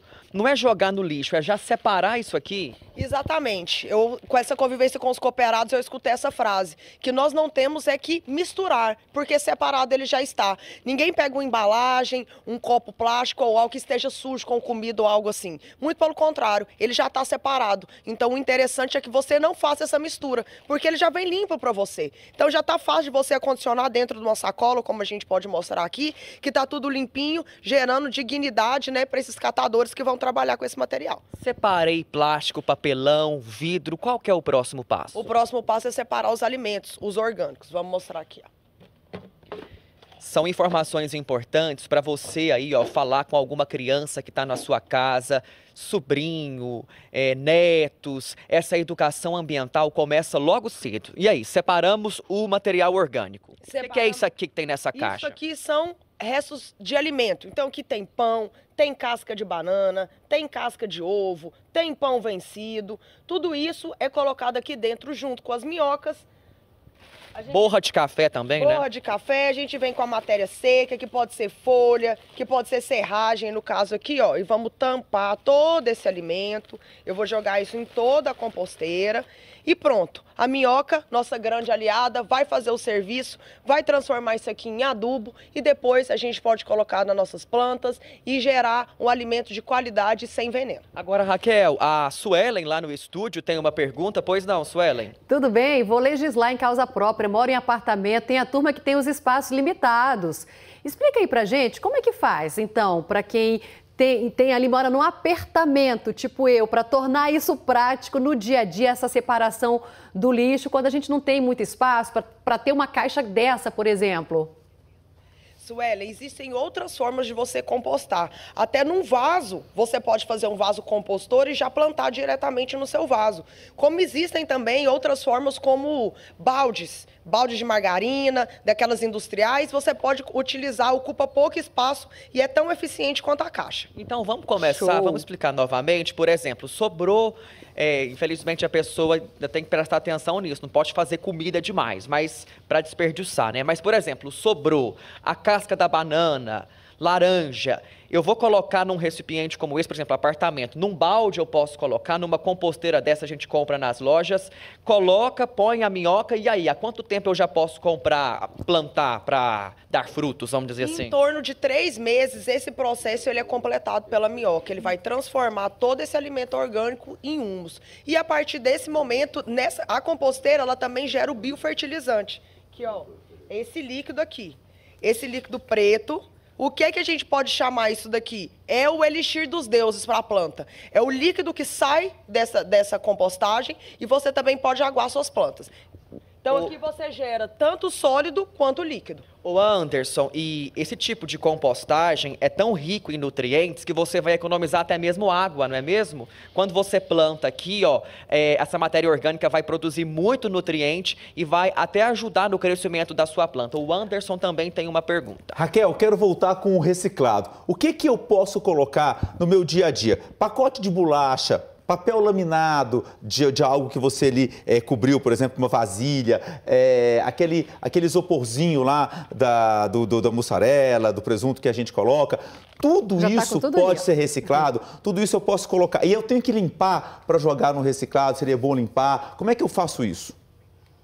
Anderson, é o seguinte: existem os materiais que são potencialmente recicláveis. O que, que é isso? O isopor ele é feito de plástico, então sim, ele é reciclável. Porém, para que essa logística funcione, para que essa cadeia funcione, é necessário um uma logística muito grande, então acaba se tornando inviável. No caso, o estado de Goiás ainda não faz a reciclagem de isopor, mas sim, ele é reciclável.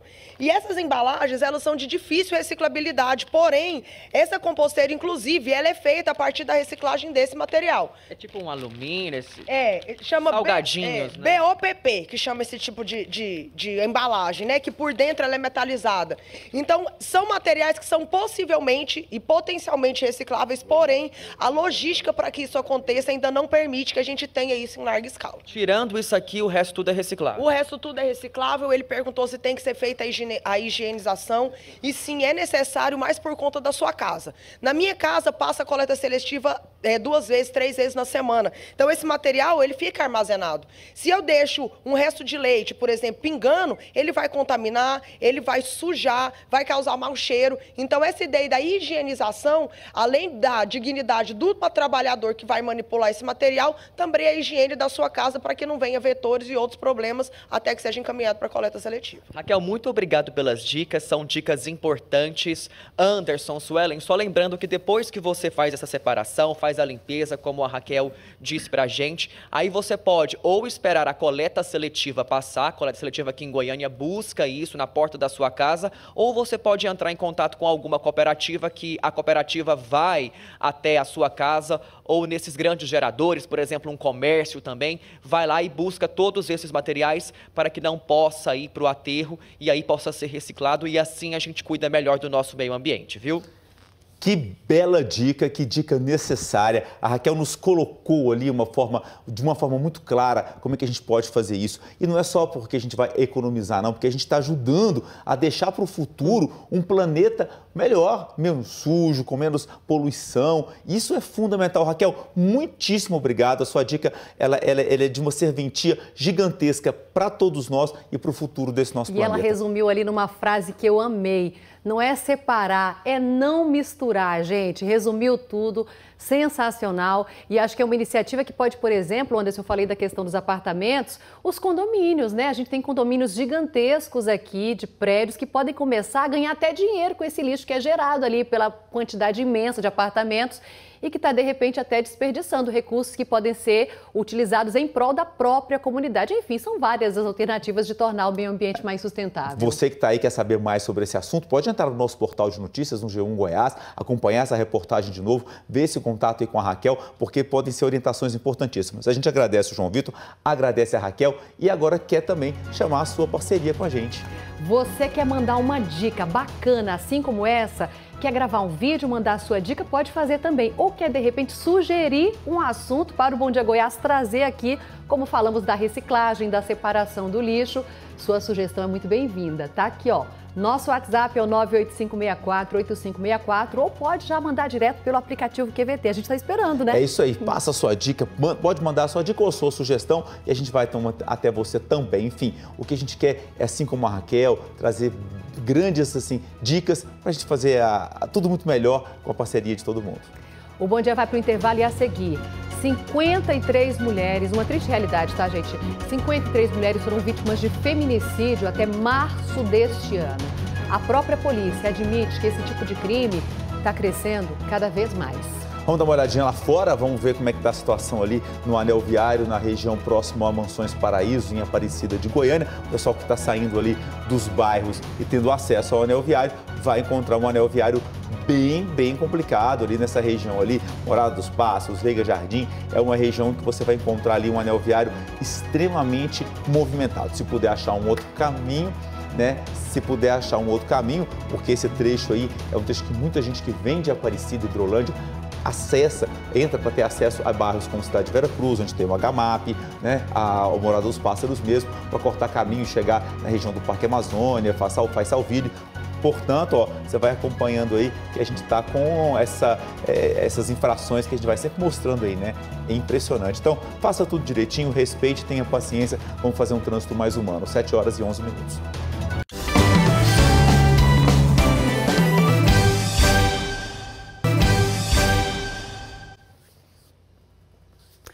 São 7 horas 13 minutos. Quero mostrar aqui no telão para vocês alguns rostos. Essas são algumas das mulheres que foram assassinadas neste ano aqui no estado. Cada crime desse, gente, mais violento que o outro, quase sempre motivado por ciúme. Pelos números oficiais, 53 mulheres foram vítimas de feminicídio só até março. Mas a própria polícia admite que esse tipo de crime está crescendo cada vez mais. Uma realidade que apavora e faz toda a sociedade sofrer. Neste fim de semana, mais duas mulheres foram mortas por ex-companheiros e outras duas ficaram feridas. Num dos crimes, uma criança de três anos viu toda a violência contra a própria mãe. A menininha chora sem parar. Foi tirada do colo da mãe minutos antes de ela ser assassinada pelo ex-companheiro. Jandalira Maria de Virges de Novaes, de 49 anos, foi esfaqueada no queixo, tórax, abdômen e braço. Ele veio para matar ela e a neném. Ele só não matou a neném porque a minha irmã pegou a neném e pôs para dentro de casa. Meu cunhado puxou ela para dentro do portão e a minha irmã saiu arrastando o corpo dela e ele ainda assim queria continuar agredindo ela até que meu cunhado conseguiu dar um empurrão nele para trás. A cabeleireira tinha uma medida protetiva contra Nerisley Alves da Silva. Descumprindo ordem judicial, ele perseguiu Jandalira até a casa da irmã, em Aparecida, onde cometeu crime nesse domingo. Depois de matar a ex-mulher com vários golpes de faca, Nerisley fugiu de moto e não foi mais visto. Ele cometeu um, um crime cruelmente. A minha irmã não teve nem chance de se defender. Também em Aparecida, outra mulher foi agredida com golpes de facão na frente do filho de três anos. O menino tentou defender a mãe e foi atingido de raspão no pescoço. Silvene Silva de Alencar Rodrigues, de 37 anos, está internada no Hospital de Urgências de Goiânia com ferimentos graves. A irmã dela tentou evitar, mas o ex-namorado, Johnny Correia da Silva, invadiu a casa de madrugada. E, pelo amor de Deus, não mata minha irmã, não. Desce daí, não pula, não. E aí, mesmo assim, ele pulou, é, ele arrombou a porta da sala. Foi um filme de terror. Eu tá ali fora gritando, pedindo socorro pedindo pelo amor de Deus e escutando o pedido de socorro da minha irmã lá dentro. A delegada da mulher disse que neste caso o agressor foi preso depois que a própria mãe denunciou. Ela vinha sendo ameaçada e já tinha medida protetiva para ficar longe do filho. Em Trindade, uma outra mulher com medida protetiva contra o ex-marido também foi agredida. No caso dela, além de ter que lidar com a violência extrema, também precisou peregrinar atrás de ajuda da polícia. Ela ficou durante seis horas tentando registrar um boletim de ocorrência no fim de semana. A mulher, que não quis se identificar, foi casada por 13 anos, se separou há sete meses, mas o ex-marido quer reatar. No fim de semana, ela aceitou conversar e foi agredida. Ele ficou nervoso, eu só vi quando ele começou a, a me dar soco, acertou um soco no meu nariz, começou a sangrar, ele desceu de dentro do carro, abriu a porta do carro e me jogou. No, no, asfalto e começou a me chutar. Parece que o crime contra a mulher só tem aumentado, infelizmente. Mas o que a gente percebe é que muitas mulheres, elas denunciam pedem medida protetiva e acabam sendo mortas. É, é, é um alerta que a gente faz para a sociedade em geral, no sentido de que esse assunto ele tem que ser bastante trabalhado e a gente só vai resolver esse problema com a educação. É preciso socorrer quem é vítima dessa sociedade machista, né, onde uma mulher simplesmente não pode terminar um relacionamento, gente. Sobre esse caso ainda, eu tenho uma resposta aqui. A delegada Silvana Nunes, da DEAN de Trindade, disse que a demora da vítima para registrar a ocorrência aconteceu por causa de um erro de orientação. Nos fins de semana e feriado, o atendimento deve ser feito na central de flagrantes. Infelizmente, tenho mais um caso aqui para contar para vocês. Essa história vem de Jaraguá. Um homem foi preso porque ele agrediu a ex-companheira e mais uma vez na frente dos filhos. Sofre a família toda, né? E as crianças ficam traumatizadas para sempre, para sempre. Uma das crianças, vejam só, estava no colo dessa mulher que foi vítima dessa violência. Daiane Jardim está conosco e traz os detalhes desse caso lá de Jaraguá. Bom dia, Daiane.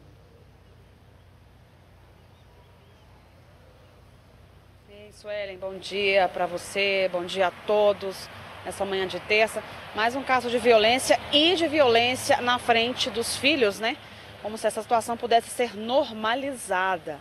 Esse caso de Araguá foi o seguinte: a viatura estava passando próximo à casa, fazendo o patrulhamento dela de rotina e viu uma mulher abanando a mão com o filho no colo, chamando a viatura.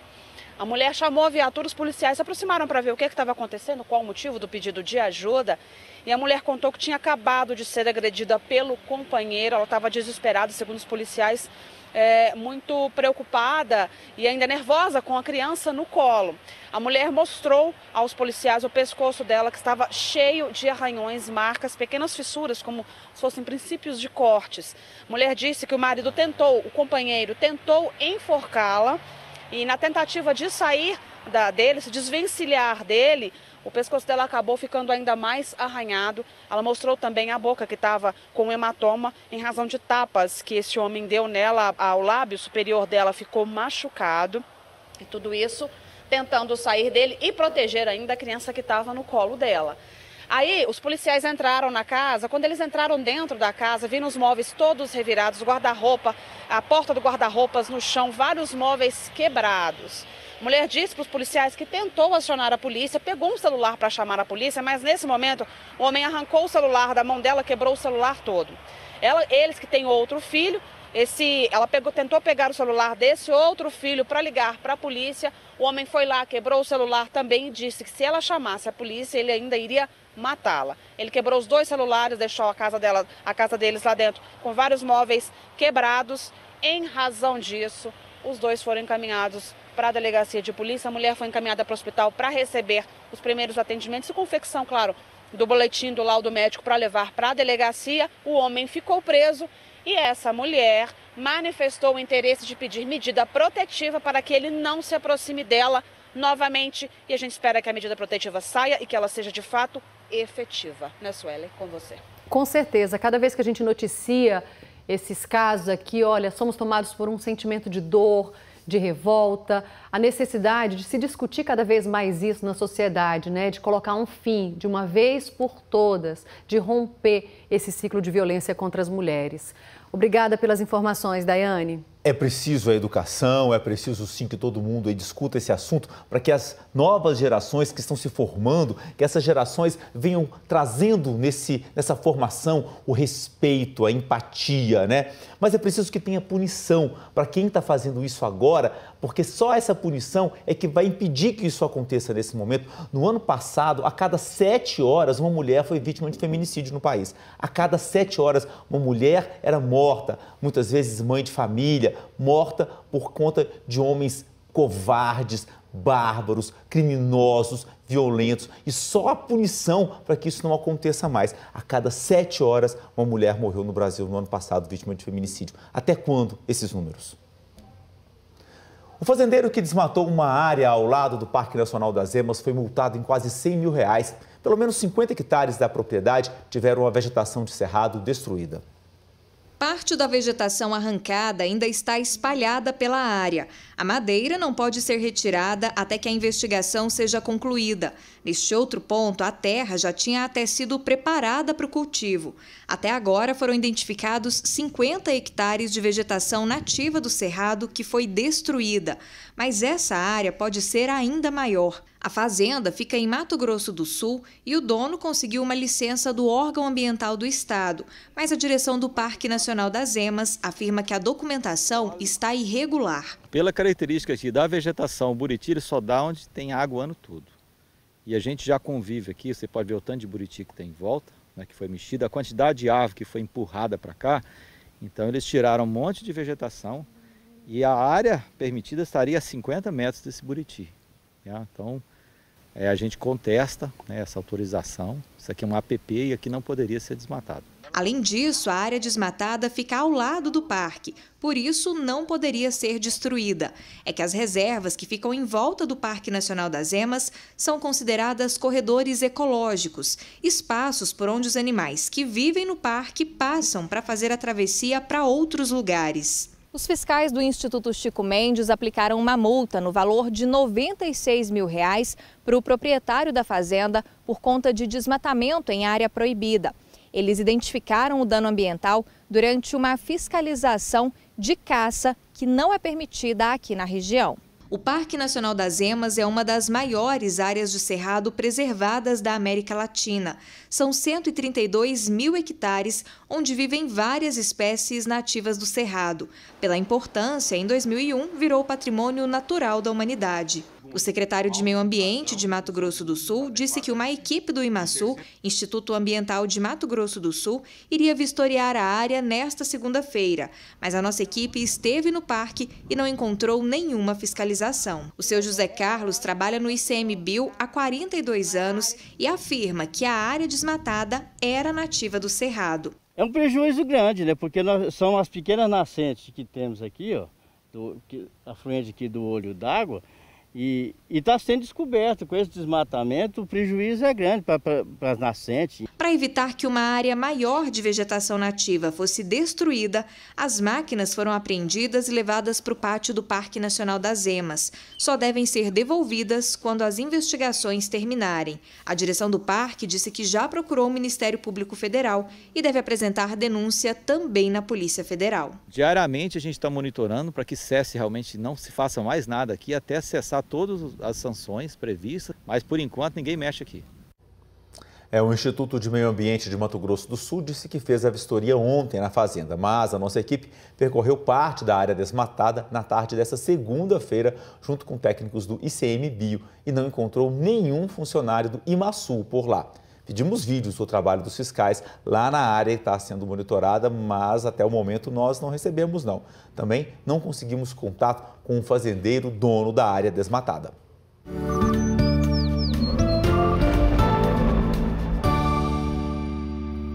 Hoje começou o inverno às 6h14 da manhã. A nova estação é marcada por temperaturas mais baixas, dias mais curtos e noites mais longas. E a Rosane Mendes vai detalhar para a gente aí, porque já chegou com tudo e é aquele período que a chuva simplesmente desaparece, a secura castiga demais a gente, né, Rosane?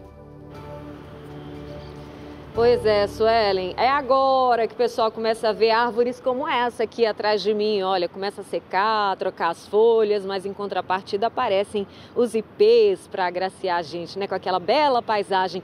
Mas, ô Anderson e Suelen, eu quero saber o seguinte: peraí, volta aí no estúdio. Não sei se já estava com a imagem do drone no ar, Rafael Mauês vai brigar comigo.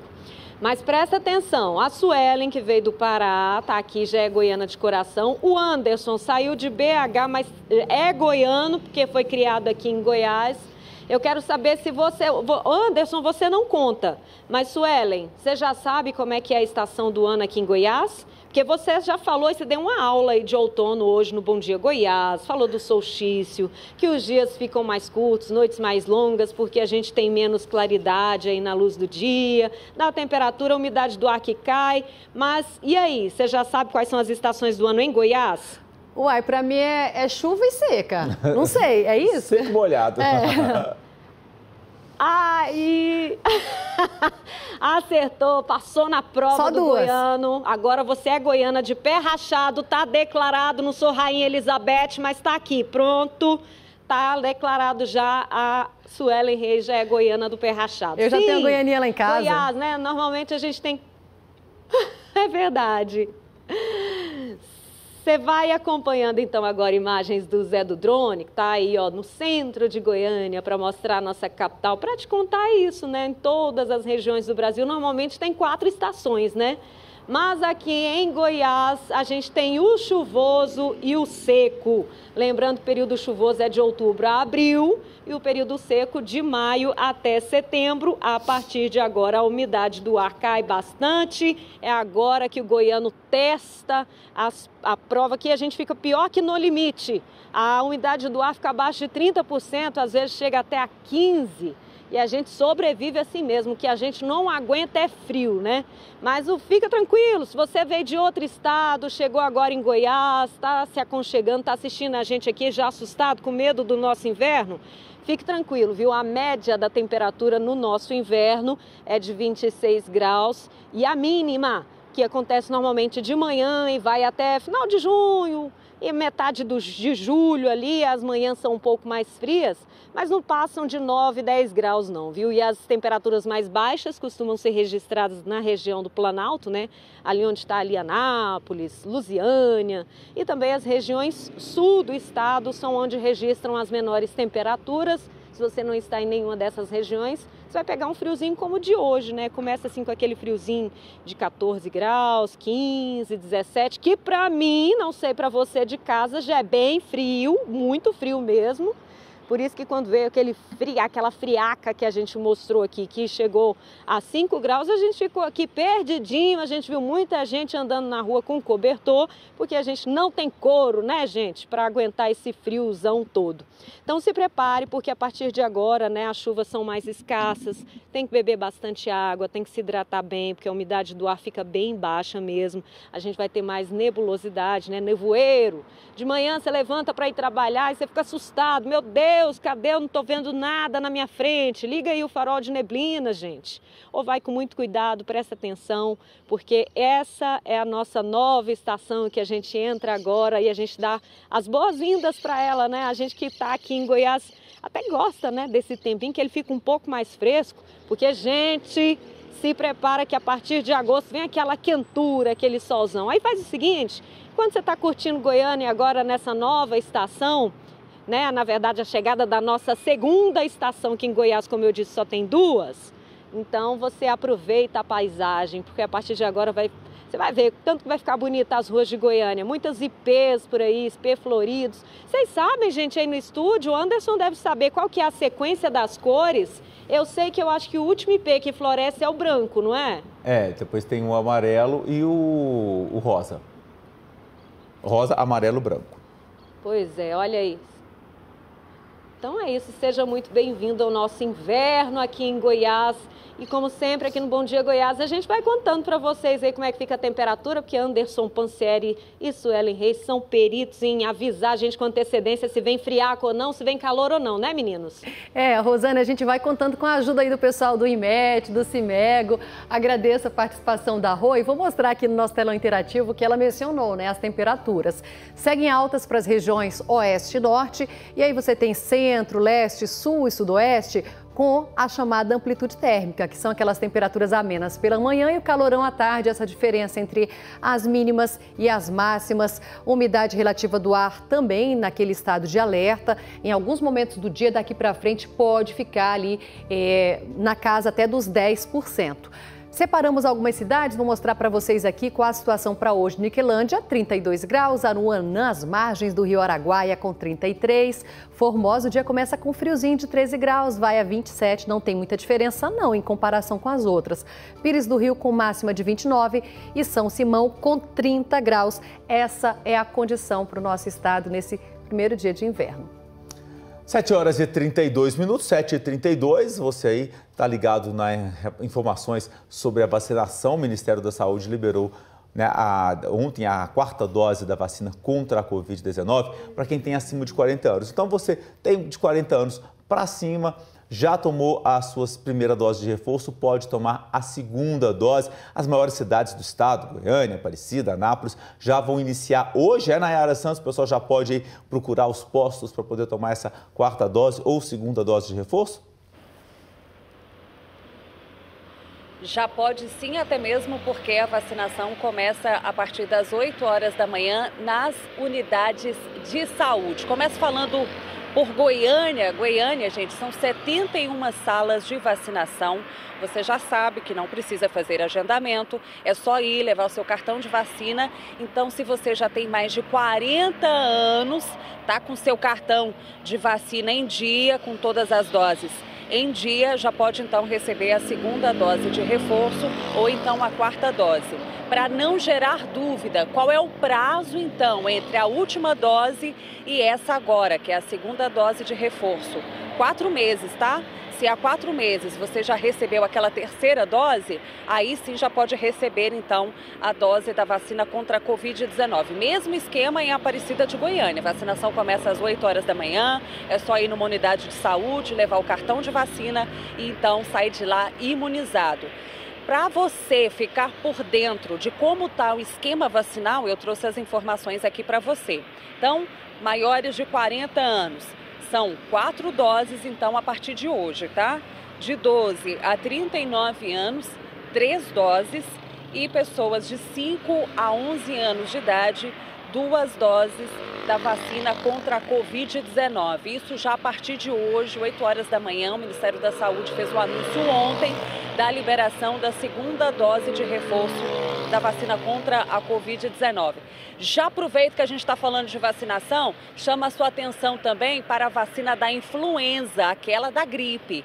Nas unidades de saúde em Goiânia também já está disponível a dose da vacina da gripe. É o mesmo esquema, é só levar seu cartão e já receber essa vacina que é de graça. A vacina está disponível nas unidades de saúde. Especialistas dizem que nesse período, né, o inverno começou hoje, o vírus circula com mais facilidade. Então, gente, bora vacinar, bora colocar essa vacina no braço aí, começar essa terça-feira, claro, com imunizante. Isso é muito importante, né, Anderson? Com certeza, Nayara. É, é uma notícia boa, como eu disse, né? A gente tem essa informação, mas é importante que as pessoas façam uso dela, ou seja, que as pessoas se vacinem. Obrigado. Além da vacinação, tenho informações sobre o serviço de testagem de Covid que continua sendo oferecido na capital.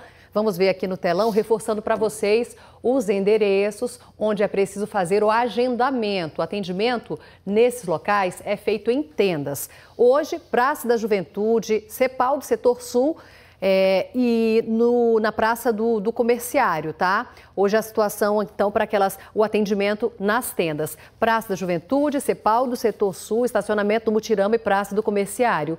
Se você prefere de carro, tem o um atendimento também nos drive-thrus. Em frente à Escola Municipal Waterloo Prudente, na Avenida Felipe Camarão, 777, lá no bairro Goiá. E tem atendimento também no Jardim Botânico, no setor Pedro Ludovico. Você pode procurar atendimento, 1.500 senhas por dia nesses locais. Até o finalzinho da tarde, o pessoal pode fazer aí a testagem oferecida de graça pela Prefeitura de Goiânia. Agora vamos dar uma olhadinha na capa dos jornais. A gente começa com um jornal daqui que fala justamente sobre isso. Quarta dose chega a quem tem 40 anos. Goiânia, Aparecida começam hoje a aplicar a vacina de reforço numa nova faixa etária de moradores. Então, pessoal acima de 40 anos, como a gente acabou de dizer. Vamos dar uma olhadinha na capa do Jornal Popular, que mostra pra gente que o frete pode subir até 7% com o reajuste do diesel e causar altas em cadeia, né? Então a gente vai, a reportagem mostra aí o como o aumento do óleo diesel vai afetar todo a, toda uma cadeia produtiva. Então e com esse reajuste aí no preço dos combustíveis, tem lugar em que a gasolina e o diesel já passaram de R$ reais. Mas olha só, tem lugar também que o diesel está mais caro que a gasolina. O preço do diesel na bomba assusta, mais de R$ 4.200 para encher o tanque do caminhão. Até semana passada, o Celivane pagava R$ 3.500. Nunca teve alta igual agora, não. O preço do combustível nunca teve igual tá agora, para você ver. O caminhão desse aqui não faz 2 km com litro de óleo, ó. Aí não consegue trabalhar não, tá ficando difícil. Além dos caminhoneiros, as transportadoras também sofrem com a alta no diesel. Essa empresa, que tem sede aqui em Rio Verde, por exemplo, gastava para abastecer toda a frota mensalmente 6 milhões e 500 mil reais. Com esse novo reajuste, esse valor passa para mais de 7 milhões e 200 mil reais. Em um ano e dois meses nós tivemos um aumento no combustível, que é nosso principal insumo, 100% do custo. Ele dobrou em um ano. Só que toda a cadeia está atrelada. Então, óleo lubrificante subiu, pneu subiu, peças de caminhões subiu, porque daí o aço também subiu, então todos os insumos da cadeia subiu e nós não conseguimos repassar tudo. Em Rio Verde, o litro do diesel é encontrado de R$ 7,56 a R$ 8,18, dependendo do posto e da forma de pagamento. O preço já é resultado do último reajuste feito pela Petrobras. O diesel subiu 14% e a gasolina 5%. Na capital, o litro da gasolina chegou a R$ 8,39 no feriadão. Nessa segunda, os postos recuaram. O preço do combustível está variando de R$ 7,19 a R$ 7,69. Mas o valor do diesel ultrapassou o da gasolina. Nesse posto, o litro do diesel está R$ 7,99 quase 80 centavos mais caro que o da gasolina. O diesel, na verdade, estava mais próximo da gasolina do que nunca, né? E agora, com esse último reajuste, na própria Petrobras, o preço do diesel é maior do que o preço da gasolina. Nós tivemos quatro reajustes no diesel e três na gasolina. Só que o do diesel sempre uma intensidade também maior, né?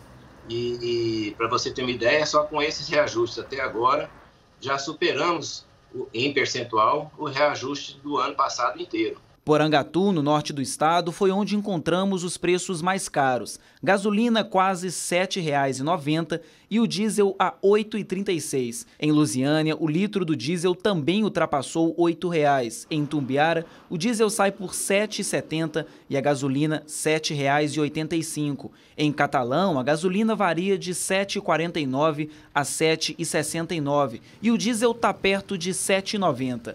Em Jataí, a gasolina subiu 20 centavos e o diesel passou de 7,60. Em Anápolis, a diferença no preço da gasolina pode chegar a 50 centavos de um posto para o outro. A conta não fecha, é impossível. Sabe, é impossível achar que consegue fechar. Faz tempo que não completa o tanque, viu? A gente vai colocando, entra na reserva, anda e quando estiver acabando a gente coloca mais um pouquinho. É, a vida do motorista não está fácil na hora de abastecer, mas também não está fácil na hora de ficar andando pelas cidades, não, porque são muitas as infrações, muitos os problemas. E câmera de segurança de uma casa registrou um carro desgovernado invadindo uma calçada em Rio Verde. Por sorte, as crianças que estavam no local não foram atingidas. O vídeo mostra o momento em que o carro se aproxima, já descontrolado, quase atropela um pedestre, bate numa árvore e capota, ficando com os pneus para cima. Repare que três crianças brincam na calçada e, quando percebem o acidente, levam um susto e saem correndo. Por sorte, ninguém ficou ferido, mas o motorista não foi localizado. Misericórdia, esse trânsito não é brincadeira, não. Por falar em trânsito, vamos ver como é que está a situação na Praça Cívica agora, às 7 horas e 40 minutos, faltando aí 20 minutinhos para as 8 horas da manhã. Essa interdição que começou no domingo, segue até o dia 20 de julho. A gente está vendo aí essas imagens desse ponto interditado, perdão, bem em frente ao Palácio Pedro Ludovico Teixeira, o Centro Administrativo Pedro Ludovico Teixeira. Os carros que contornam o anel externo, obrigatoriamente tem que fazer ou entrar na Cora Coralina ou entrar na 83, e a gente, 84, e a gente vai dando uma olhadinha aí agora como é que está a situação dessa mudança. Ontem, esse trajeto aí no anel interno, tá vendo onde o ônibus está entrando agora? Ontem, isso causou um pouco de confusão. Os ônibus tinham dúvidas se poderiam entrar ou não. Em alguns momentos era necessário parar o trânsito ali na 85, na 80, na, no anel, no anel é, externo, que é a 82, para que esses ônibus fizessem esse movimento. A gente acompanha hoje, agentes de trânsito e também da rede móvel continuam nessa sinalização, mas os ônibus já estão conseguindo entender melhor já essa movimentação. Então, o transporte público, que estava um pouco mais complicado ontem para entender a mudança, hoje nos parece que segue tudo normal. Tem sim um trânsito muito intenso, o Zé do Drone mostrando para a gente, o Zé e o Edmar estão juntos ali mostrando para a gente. Vamos ver como é que está um pouquinho mais para frente, Zé, seguindo no anel externo ali na 82, para a gente ver como é que está essa movimentação de quem vai subir a 85 ou quem está contornando a Praça Cívica. O pessoal aí que puder evitar, pega a, a 94, né, que é, é Olinto Manso também, Tá, tá, tá, intenso, olha só, o Zé está mostrando para a gente ali no posto com a dona Gersina Borges, onde tem um posto de gasolina, pessoal que sobe a Tocantins, tem muito carro, então os carros fluem, mas a velocidade é um pouco mais reduzida. Então a Praça Cívica está fluindo melhor do que ontem, porém a velocidade é um pouquinho mais reduzida. Informações importantes, então, para você que vai para o centro de Goiânia, para que se você puder evitar o anel externo da Praça Cívica, evite. Caso tenha que chegar até a região central, vá pela Olinto Manso 94, contornando ali nesse que é o chamado terceiro anel. Vamos dar uma olhadinha agora no Luciano Moraes, que está em outro ponto, né, bem distante dali, está na região da Avenida Pedro Ludovico, Parque Oeste Industrial, região oeste da capital. A gente sai do centro, vai para a região oeste.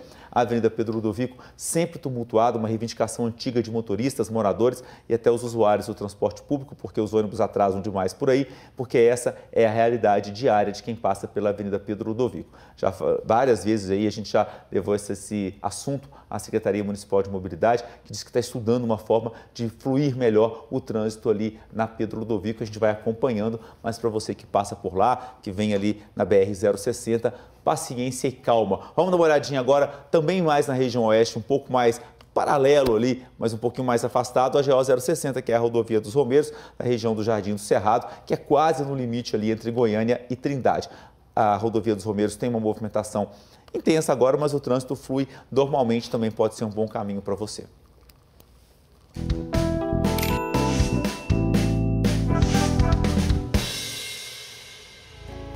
Vamos com participações da turma que assiste a gente, começando com o pôr do sol lá em Barro Alto. Vamos ver ali no telão? Olha que lindo, gente! Silênio e a família foram passear no fim de semana lá em Barro Alto, viram essa paisagem linda, impressionante, aproveitaram, registraram e compartilharam conosco. Muito obrigada. Ah, Barro Alto, que bonito, hein, pessoal, ali na região do Vale do São Patrício. A Maria do Socorro, do Recanto do Bosque, levanta cedinho, né, para ver o jornal Bom Dia Goiás. Ela tem 78 anos, acorda cedo, acompanha a gente. É muito legal ter essa é, compartilhar esses momentos com vocês. E na cidade de Goiás, agora tem homenagem a uma das figuras mais queridas da antiga capital do nosso estado. Vejam só. Quem passa pela rua do Centro Histórico, ao lado da Catedral do Rosário, encontra a Tia Tó na porta de casa.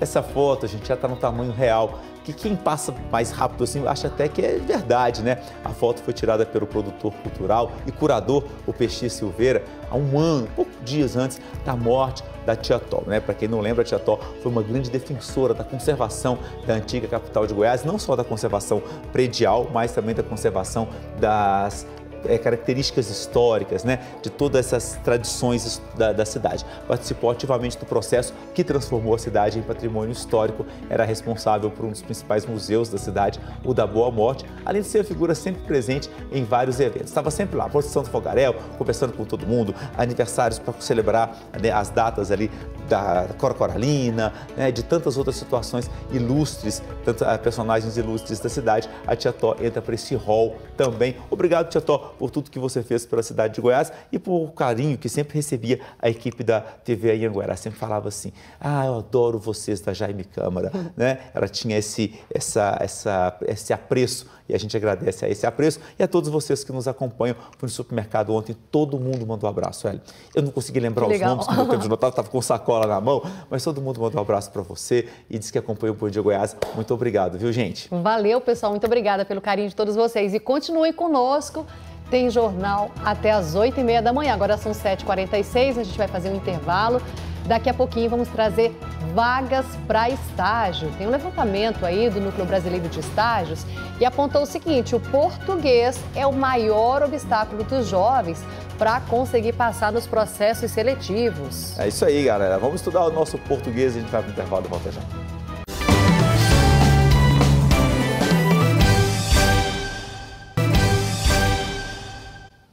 Olha a hora, 7h48, 7 horas e 48 minutos. Bom, a gente sempre mostra aqui no Bom Dia Goiás vagas abertas para estágio. São várias oportunidades para quem quer entrar no mercado de trabalho. Mas um levantamento feito pelo Núcleo Brasileiro de Estágios apontou que o português, a língua portuguesa, na verdade, é o maior obstáculo dos jovens para conseguir passar nos processos seletivos. Só no IEL Goiás, no momento, são oferecidas mais de 1.600 vagas para estágio em todo o estado. 1.452 para Goiânia e região metropolitana e 234 para o interior. Atualmente, o Instituto Evaldo Lodge tem mais de 11 mil alunos estagiando em 2.500 empresas. Mas, para fazer parte dessa estatística, primeiro é preciso ultrapassar uma barreira chamada língua portuguesa. A gente precisa separar né, o nosso vocabulário do dia a dia com aquele momento da entrevista, porque a empresa está avaliando aquela questão da empregabilidade, como é que você vai se comportar na empresa, como é que vai ser essa comunicação. Então, assim, a gente está falando de um ambiente empresarial. Temos que mudar, temos que evoluir, progredir sempre. Português é o principal obstáculo para 83,5% dos jovens em processo seletivo. Pelo menos é o que aponta um levantamento feito pelo Núcleo Brasileiro de Estágios. A pesquisa, que foi divulgada em maio desse ano, levou em consideração o desempenho de quase 60 mil concorrentes. Desses, apenas 16,5% passaram adiante. Mas, afinal de contas, qual é a importância do bom português no cotidiano corporativo? Para o Alex, a resposta está na ponta da língua. A partir do momento onde que eles sempre inserem a gente dentro desse mercado e mostram o, as possibilidades que a gente tem, eles também, é, junto com essas possibilidades, demonstram o que, que a gente precisa para cada uma delas. E uma das coisas que mais é, são pontuais é o, o português estar afiado e estar em dia. Né?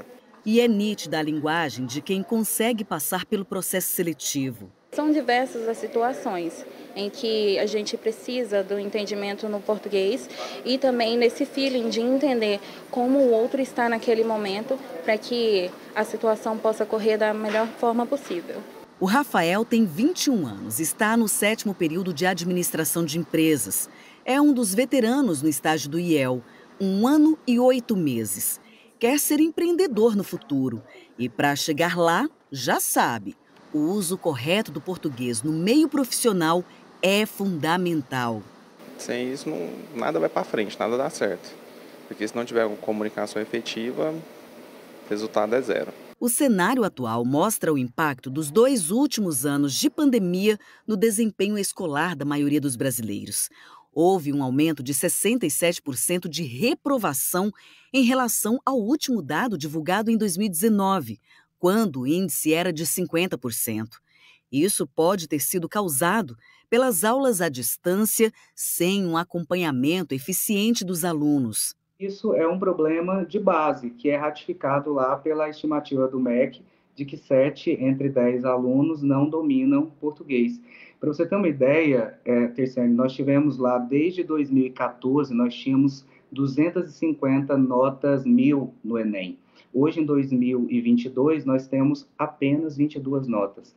Olha o quanto nós decaímos. Com a pandemia, isso só tende a piorar. E dá para correr atrás do tempo perdido, se qualificando, se informando e, principalmente, a leitura é fundamental, mesmo que seja ali um texto por dia, mas assim, tenha, comece a colocar isso em prática. É a prática que vai trazer esse, esse ambiente da leitura. Né? Eu, eu, comento, gente, ó, redige, põe lá no, no texto, lá no seu computador, uma música, que você gosta de, da música, redige ela, depois você apaga, mas assim, faz uma avaliação, faz uma autoavaliação de como está o seu português. Importante, né? E a gente sabe hoje o tanto que essas vagas de estágio são fundamentais para conseguir uma colocação definitiva no mercado de trabalho. A Rosane Mendes, então, vai conversar com a gente sobre mais detalhes, como é que o candidato, né, o candidato que aplica o português de forma correta, né, se ele já está um passo na frente para conseguir que esse estágio seja definitivo, né, ô, ô Rosane? Sim, Anderson, até porque eu estava conversando aqui agora com a Vanildes Maria de Oliveira, que é diretora da Super Estágios e coordenadora de equipe, de equipe que esse é um problema que tem sido visto assim já no ensino superior, ou seja, os alunos estão se formando com problema de português. E isso é uma questão preocupante, né? Porque essa é, é o que, como a gente viu na reportagem, é o que tem atrapalhado muitos profissionais a conseguirem uma vaga no mercado de trabalho, né? Bom dia. Bom dia, bom dia. É importantíssimo falarmos sobre esse tema. Eu gostei muito do convite porque nós vivenciamos isso. Ah, constantemente temos retornos de estudantes. Ah, eu, eu não fui tão bem no processo seletivo, eu acredito que foi a falta de experiência, mas é muito bom a gente frisar que o estágio não pede experiência. O estágio pede que você tenha um grau de conhecimento conhecimento a respeito de determinado assunto. E a língua portuguesa é um desses assuntos. Então, o que, é que o estudante precisa se preocupar nesse momento? Ele precisa entender que ele não precisa chegar até o entrevistador com uma bagagem, não precisa ter passado pelo mercado de trabalho, mas ele precisa chegar enriquecido.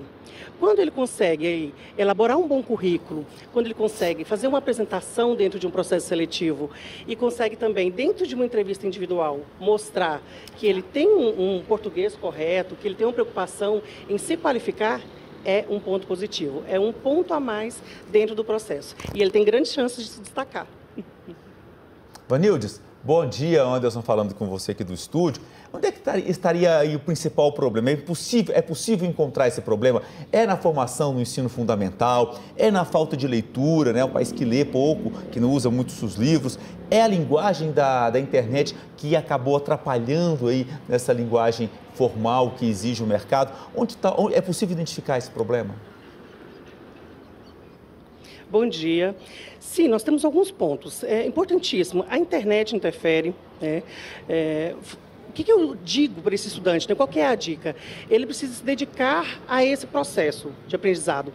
Sim, o fator da internet é um dos pontos. O fator do estudante ter a informação de fácil acesso não faz com que ele se dedique a estudar um pouco mais, a, a destrinchar, né? vamos dizer assim, a se dedicar realmente, efetivamente, à língua portuguesa. Mas o que, que eu trago realmente como dica? Esse estudante ele precisa fazer pesquisa, ele precisa, vamos lá, vamos voltar um pouquinho. Desde 2016, novo acordo ortográfico. Quantos estudantes têm esse conhecimento. Quantos sabem nos dizer hoje quais foram as mudanças porque elas ocorreram? Então, assim, o que eu vou dar como sugestão? Esse estudante ele precisa formar grupos de estudo, ele precisa acessar, no, ele gosta da internet, então vá para a internet e busque a informação. É, língua portuguesa, redação. Porque, Anderson, quando o estudante chega na empresa, é, vamos, vou dar um exemplo. Nós estamos com um processo seletivo aberto para o TRE Goiás com vagas em Goiânia e vagas também no interior do estado, para direito no interior do estado e ensino médio, e várias vagas aqui em Goiânia. O que, que ela traz para a gente? uma prova online. E essa prova online, ela tem língua portuguesa também. Ela tem várias matérias, mas a língua portuguesa é um diferencial, é critério de desempate. Então, a gente precisa entender que ele precisa se dedicar e observar que a língua portuguesa é sim, desde o primeiro momento, um diferencial. Porque se no currículo dele não tiver uma boa apresentação, não tiver escrito de uma forma correta, ele já sai na primeira fase do processo. Tá certo, muito obrigada pela participação, até porque, né, Anderson, imagina só esse estagiário contratado com ensino às vezes até superior, vai redigir uma ata, vai encaminhar um e-mail, escreve tudo errado, quer escrever da mesma maneira que escreve na hora que vai enviar uma mensagem de texto por aquele aplicativo de mensagem, já pensou a vergonha que não só ele vai passar, mas até a empresa? Difícil, né? É isso aí. Leitura é um bom caminho, né? Ler você vai é, é, dominar melhor a língua do seu país. Então vamos fazer isso, né? Muito obrigado, Vanilson, pelas explicações, pela dica aí para essa turma que acompanha a gente. Obrigado, Rosane.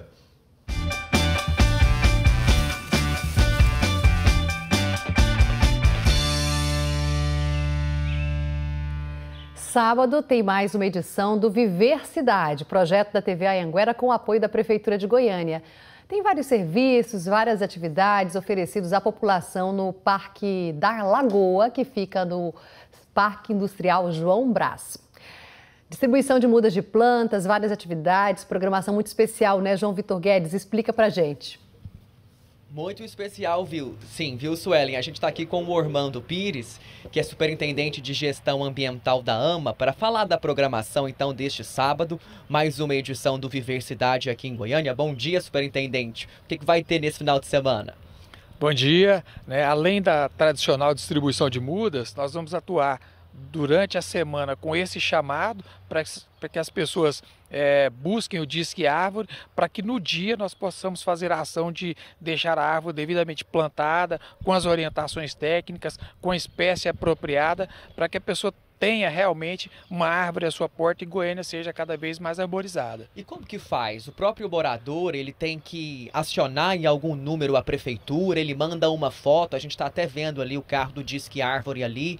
É, como é que ele faz? Ele tem que pedir essa plantação? Isso, o que é importante ressaltar é que ele aciona a AMA através do 99639 7495 é, e através desse número ele faz a solicitação, é, tem um formulário que a AMA disponibilizou para que a pessoa passe as suas informações de maneira correta, porque quanto melhor as informações, é, maior vai ser a probabilidade dele conseguir essa orientação, a espécie apropriada, já que vários fatores influenciam, como largura da calçada, fiação. Então é importante que ele passe essas informações para que nós possamos ir lá na sua porta e deixar a sua árvore plantada. Se você quiser mais informações, então, desse serviço, você pode sábado lá no Viver Cidade, que a equipe da AMA estará lá para falar e explicar como que funciona, para saber, você pode até levar uma foto da sua calçada para mostrar ali para os técnicos como que é, para ver se lá realmente pode ser plantada uma árvore. E o serviço mais procurado, distribuição de mudas, vai ter muita muda que será distribuída, Urmano? Isso, a gente está com o propósito de disponibilizar cerca de 500 mudas eh, que podem ser é, ampliadas né, conforme a procura, mas lá a gente vai ter essa distribuição de mudas, dentre outras atividades que nós teremos lá para a população. Vai ter muita diversão para a criançada também, além dessa parte ambiental, tem a educação também ambiental e muita diversão, muitas músicas, brincadeiras brincadeiras, danças para as crianças. A intenção mesmo, Ormando, é já começar desde cedo, já com essas crianças, falar sobre a importância da educação ambiental? Isso, exatamente, né? Esse, esse além do, do, de ser o nosso futuro, as pessoas são, as crianças são aquelas que mais se apropriam desse conhecimento e passam à frente. Então a ideia da AMA é que leve até as crianças para que elas possam talvez nos ensinar como ter um futuro melhor, como ter uma, uma cidade mais arborizada. Então teremos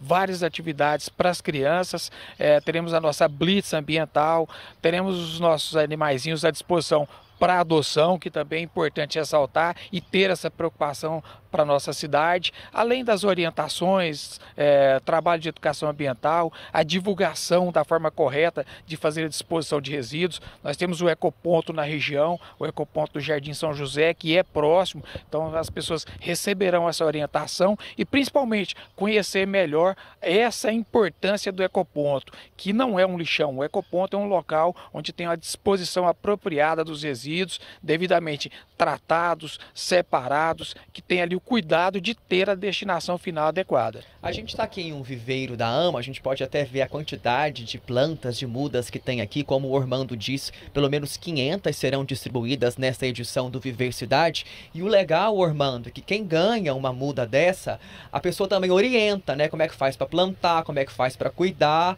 para que tenha aí longevidade, não é isso? Isso, exatamente. Você frisou bem.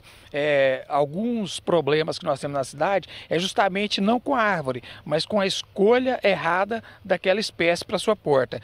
Então a AMA fez no, no, no em 2021 é, quase 150 mil plantios, árvores que realmente eh, elas não foram distribuídas, elas foram plantadas. Então, para nós é, é de grande valia esse plantio de mudas. Então, nós plantamos nos espaços urbanos, estamos, estamos aí conclamando a população para que cada um também tenha uma árvore à sua porta, para que aí sim, Goiânia, além de ter é, áreas públicas arborizadas, que tenha também a calçada e a frente do morador também com uma árvore plantada. Perfeito, Armando. Muito obrigado pela participação aqui no no Bom Dia Goiás, só reforçando então Viver Cidade neste sábado no Parque da Lagoa, no Parque Industrial João Brás, a partir das 8 horas da manhã. É com vocês aí. Muito obrigada pelas informações. 8 horas e 3 minutos, 8 e 3, proteger as crianças de abusos sexuais é uma constante preocupação. Tratar esse tema de forma lúdica em sala de aula serve para identificar quando elas são vítimas, como aconteceu recentemente em Tumbiara. A tarefa de um desenho e uma conversa foram suficientes para detectar o abuso que uma criança sofria em casa.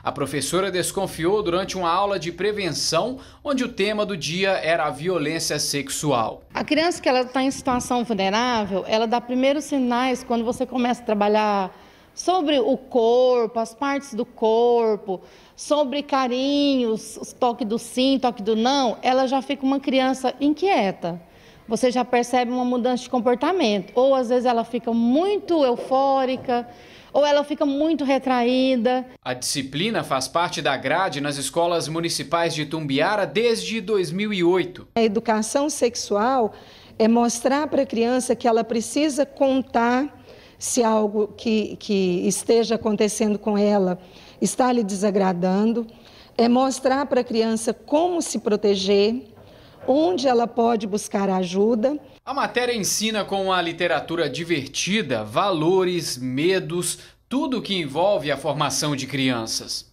Encostar nas suas partes íntimas? Não, você deve dizer. Seu corpo é muito especial e você pode protegê-lo de qualquer mal. O principal livro trabalhado em sala de aula é o Pipo e Fifi, dois personagens criados pela escritora Caroline Arcari, que, entre muitas coisas, ensinam às crianças o toque do sim e do não. Caroline, de onde vem a ideia de criar um livro sobre a proteção contra a violência sexual?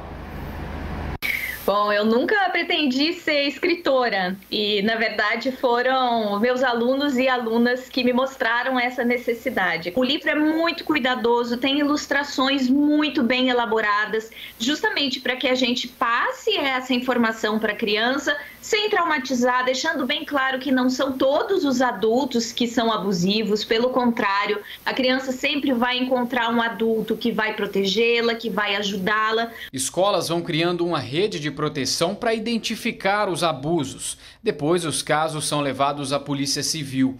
Em Morrinhos, no sul do estado, a delegacia ganhou até uma sala lilás, um espaço próprio para investigar esses tipos de casos. A gente acredita que a melhor forma de você extrair informação é trazer esse espaço para as crianças. Através disso, a gente consegue eh, trazer um atendimento melhor, mais humanizado para a criança e consegue, com isso, melhorar a prova que vai ser apresentada. 8 horas e 6 minutos, um homem foi preso suspeito de aplicar um golpe numa família do interior de Goiás. Ele teria cobrado dinheiro para facilitar uma suposta adoção de uma criança ucraniana órfã por causa da guerra com a Rússia. Auli Rosa de Paula foi preso em Belém do Pará. A investigação da Polícia Civil apontou que ele enganou uma mulher que mora no interior de Goiás, prometendo facilidades em um suposto processo de adoção de uma criança ucraniana que ficou órfã durante a guerra com a Rússia. O golpista teria falado para a mulher que foi com uma equipe de TV para a Europa para cobrir a guerra. A mulher, que trabalha com uma ONG, transferiu para o criminoso 2 mil euros o equivalente a mais de 10 mil reais. Depois da transferência, o homem parou de mandar mensagens e desapareceu. Foi aí que ela percebeu que tinha caído em um golpe e procurou a polícia. A identidade de Auli foi divulgada pela polícia para saber se outras pessoas também foram vítimas do golpista, que tem mais de 20 passagens na delegacia por ameaça, roubo e até homicídio.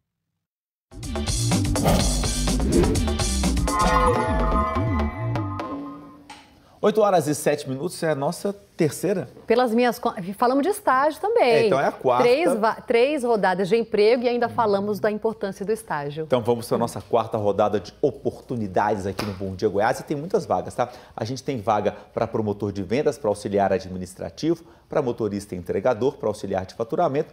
Manda seu currículo para Ellen com dois L's, tá? H e dois L's, ponto Brenda, arroba rosadeouro.com ellen com dois L's, ponto Brenda, arroba rosadeouro.com ou então WhatsApp 62 3597 4322, não para por aí não, tem mais vaga, tem vaga para televendedor, para gestor comercial e para programador.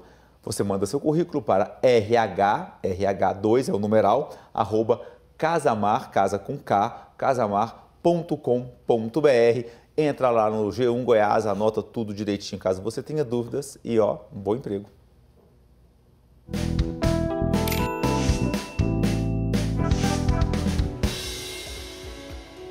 Vamos ver uma participação, uma foto e ler a mensagem da Eliane, lá do Fim Social, tá aí no telão? A participação, ela diz assim, ó, gostaria que mandasse um abraço para essa turma lá de São, da, é, que são meus amigos do meu antigo trabalho, resolveram fazer uma festa junina na minha casa. Aí ela conta assim, ó, quando trabalhávamos juntos, sempre organizava a festa.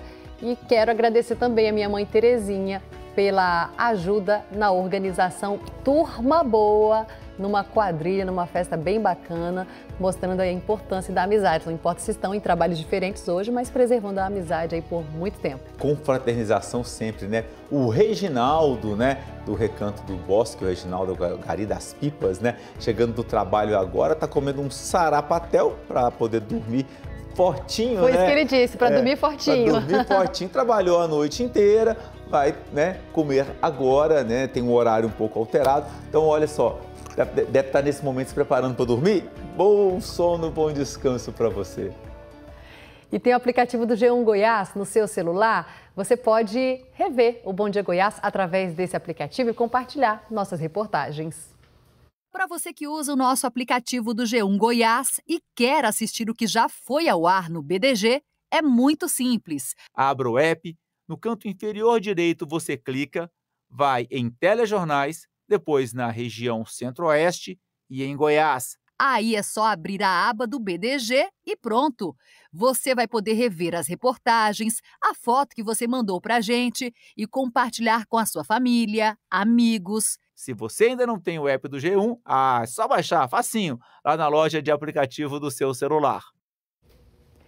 E não esqueça, é de graça. É isso aí. Então, Eliane, você viu sua foto ali, aqui com a sua turma da quadrilha e quer compartilhar para todo mundo que estava com você lá na sua casa? Entra lá, compartilha, faça assim, todo mundo mostrando e mandando que está aqui no nosso Bom Dia Goiás, tá? Agora são 8 horas e 10 minutos. Um homem foi preso com mais de 10 quilos de maconha aqui em Goiânia. Notícia da madrugada: a equipe do choque estava em patrulhamento de rotina no setor Madre Germana 2, em Goiânia, quando uma moto passou. Os policiais desconfiaram, deram ordem para o motociclista parar e, com o homem, encontraram 2 quilos de maconha. O suspeito confessou, disse que na casa dele ainda tinha mais drogas.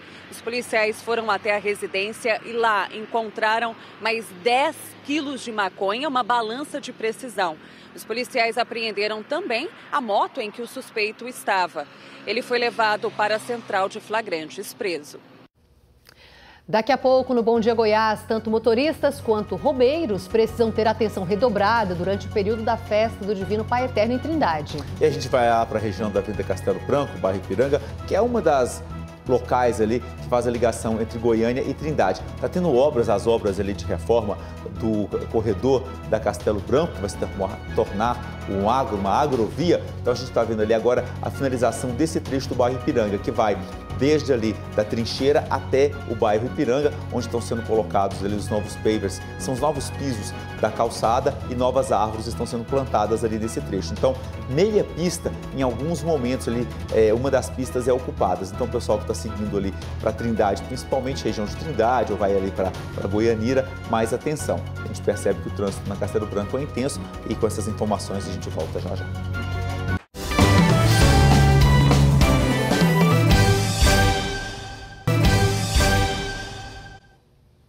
814, os Estados Unidos devem começar a vacinar contra a Covid bebês com mais de seis meses de vida. Aqui no Brasil, a vacinação, por enquanto, é somente para crianças com mais de 5 anos de idade. Mas a notícia que vem lá da América do Norte encheu de expectativa os pais daqui. O Gael nasceu um pouquinho antes de começar a pandemia.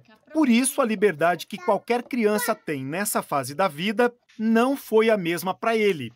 O menino tem passado a maior parte dos dias em casa, mas agora há uma esperança. Lá nos Estados Unidos, bebês com mais de seis meses vão começar a receber a vacina contra o coronavírus.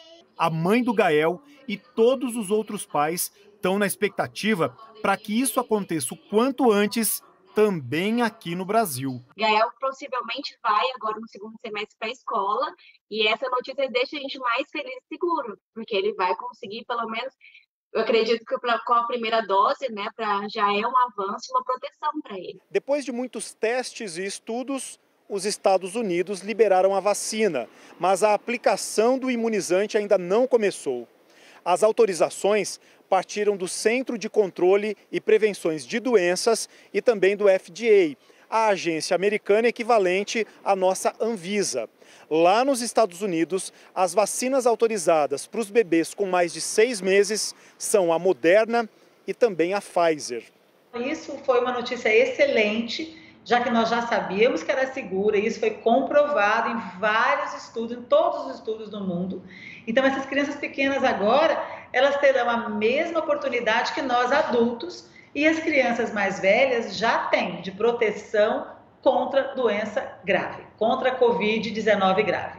Aqui no Brasil ainda não há uma data certa para que os bebês comecem a ser vacinados. A presidente da Sociedade Goiana de Infectologia espera que o governo brasileiro reconheça os estudos americanos. Já que nós temos essa mesma plataforma, que é a vacina da Pfizer, e ele possa sim também é, transpor esses dados para o Brasil e iniciar o mais rápido possível, já que nós não podemos perder tempo em vacinar as crianças acima de seis meses de vida. Estes aí são os irmãos Marcos Felipe, 7 anos, já protegido com a vacina contra a Covid, e o caçula, o Pedro, com pouco mais de dois anos.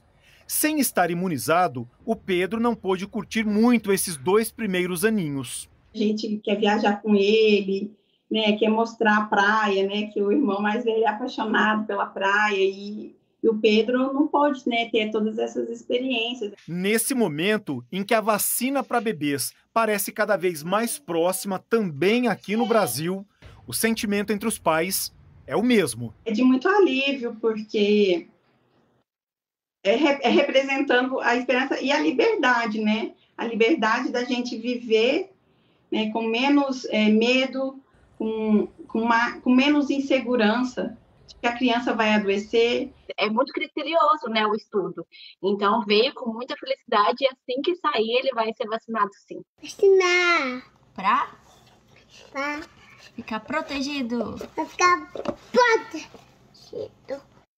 É isso aí, até ele já sabe, né? Bom, a Anvisa não respondeu se, se já existe um estudo sobre a vacinação de bebês a partir de seis meses aqui no Brasil. 8 horas 17 minutos, a Prefeitura de Lusiânia decidiu ampliar os locais de testagem para a Covid-19. Então é para lá que nós vamos agora, ao vivo, conversar com a Janaína de Oliveira. Explica para a gente, Janaína, por que, que a Prefeitura tomou essa decisão. Bom dia.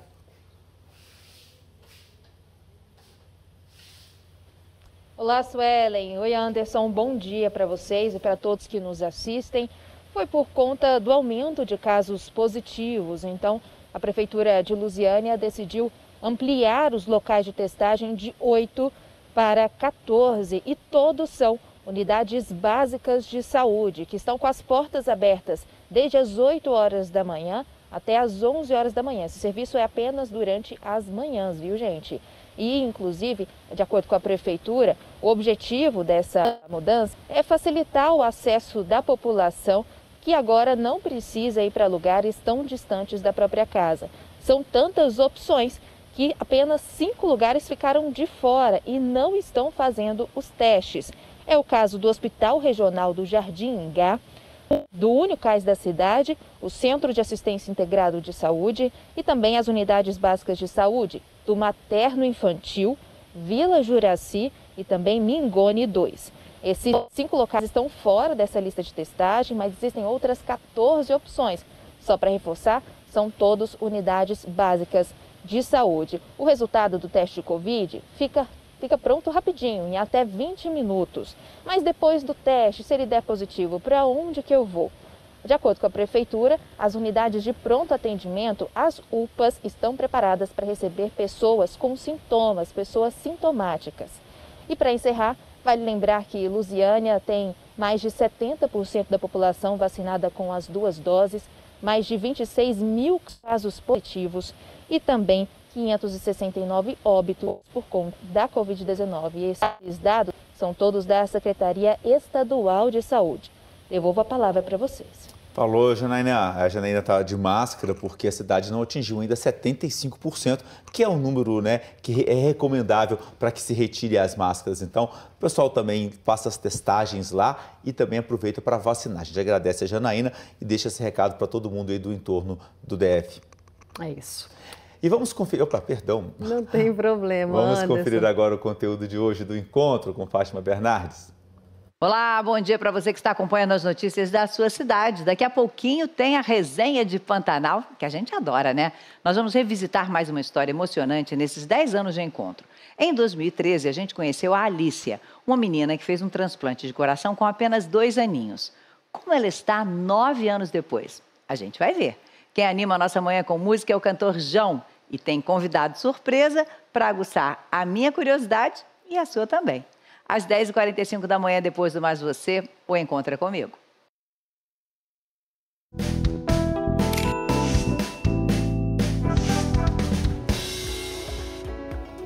Vamos com a participação da Jaque. Ela mandou essa foto aí, vamos mostrar? Foi no dia do aniversário de Aparecida de Goiânia, teve uma festa muito bacana por lá com aquele bolo de 100 metros. A gente fez uma cobertura especial no Bom Dia Goiás e hoje a Jaque mandou a foto aqui no WhatsApp da TV Anhanguera registrando esse momento aí depois da, da participação que eu fiz ao vivo aqui no Bom Dia Goiás. Beijo pra você, viu, Jaque? É isso aí, pessoal Aparecida também, sempre carinhoso com o Bom Dia Goiás. Agora a gente vai ver a foto do Evandro Curado, que é de Niquelândia, lá da região norte. Ele disse que é fã do Bom Dia Goiás, assiste a gente todo dia, está sempre ligado no BDG. Então, para o Evandro, nosso abraço, nosso muito obrigado. O pessoal de Niquelândia aí também, um grande abraço, deve estar preparando aí já para fazer o início dos preparativos para a festa lá do Muquem, né, que é distrito de Niquelândia. Então, logo, logo deve ter essa movimentação toda por lá também agora em agosto. E tem o pessoal que está sempre de olho no céu. O Kleber Rocha mandou um registro do amanhecer hoje, lindíssimo, lá em Senador Caneto. Estava na estrada e registrou, bonito.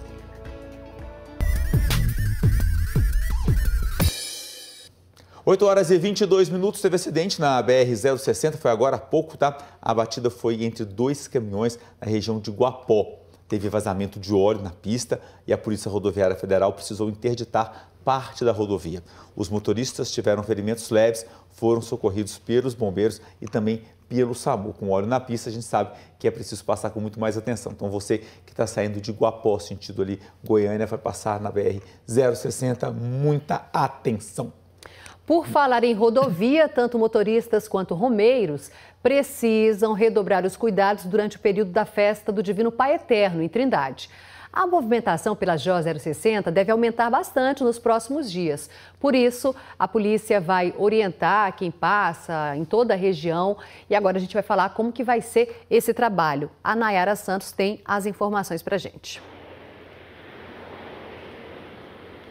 Pois é, Suelen, a gente fala ao vivo aqui, bem da pista dos Romeiros, né, por onde os peregrinos vão passar, então, nesses dias de festa da Festa do Divino aqui em Trindade. A gente chega exatamente com esse alerta. Você que é daqui da região, conhece o trânsito aqui da 060, sabe que é um trânsito intenso, principalmente nos dias de festa, né? Então a Polícia Rodoviária Federal trouxe algumas dicas para gente, para você ficar atento. A gente costuma dizer que o trânsito ele não é feito somente com motociclista e motorista, né? O pedestre também faz parte disso. Então eu trouxe aqui as informações da Polícia Rodoviária Federal para trazer esse alerta, né? Então, principalmente aos fiéis, viu, que vão fazer a peregrinação esse ano, a PRF pede para o pessoal andar sempre em fila indiana, com roupas claras e utilizando aquelas faixas refletivas, principalmente você que vai começar a fazer a peregrinação durante a noite, para não pegar esse sol que já está começando a esquentar. Escolher o acostamento no sentido oposto, é exatamente de onde a gente fala ao vivo, ó, porque o trânsito já começa a ficar intenso então durante a manhã. Então existe uma pista aqui que é exclusiva para você peregrino atenção no que está acontecendo à sua volta, não ficar mexendo no celular, não ficar com fone de ouvido, prestar atenção aos ruídos principalmente, porque por aqui passam muitos ciclistas também. Sempre que for necessário utilizar o carro de apoio, porque vai ter um carro de apoio, vai ter também barraca de apoio aqui no acostamento, então ficar atento a quanto a isso. Aos motoristas que avistarem pessoas caminhando ou carros de boi nas proximidades, é fundamental reduzirem a velocidade. Agora a gente traz um alerta especial, principalmente para você que vai estar tá com aqueles carros de boi, né, gente? Respeitar também, vai ter um espaço somente para você, não tentar passar pela BR, porque é muito complicado, é muito perigoso. Esse ano já teve acidente com uma comitiva que saiu de Arizona para vir para Trindade na GO 219. Então a gente traz esse alerta aí exatamente para você evitar acidente. Movimentação aqui na 060, dá para mostrar, Iron? Pessoal aí de casa ver, 060 já começa a ficar intensa aqui na região. Então, ficar alerta aí, cada um fazendo a sua parte para poder evitar acidente sempre, né, Anderson e Sueli? Com é toda certeza. A gente está vendo a movimentação de carros atrás de você e sabe que durante a festa essa movimentação não só de veículos, mas também de pedestres aumenta. Então, atenção redobrada prevenir, fazer tudo certinho para poder lá fazer sua oração, voltar. Não só na, na GO 060, mas outras rodovias também da região, porque é o momento que aqueles romeiros começam a fazer suas caminhadas, né? Então eles procuram aqueles espaços que tem o acostamento. Então dirijam com mais atenção, com mais cuidado, tenham respeito aí com esses romeiros. Tá certo, obrigado Nayara. E a gente vai ver como é que está a situação ali na, na região, para quem saiu da Goiás Norte agora e entrou ali na Marginal, segue ali do lado direito, é a região da 44. A gente está mostrando ali, a gente que está chegando ali do Crimeia, né, do lado esquerdo ali. Tá tranquilo, a Marginal está tranquila agora às 8 horas e 26 minutos. Operação do Ministério da Justiça contra a pirataria digital em 11 estados está acontecendo agora. Aqui em Goiás tem mandados de busca e apreensão sendo cumpridos em Valparaíso de Goiás. A Janaína de Oliveira está de volta, ela tem as informações dessa operação. Qual o resultado desse trabalho, Janaína?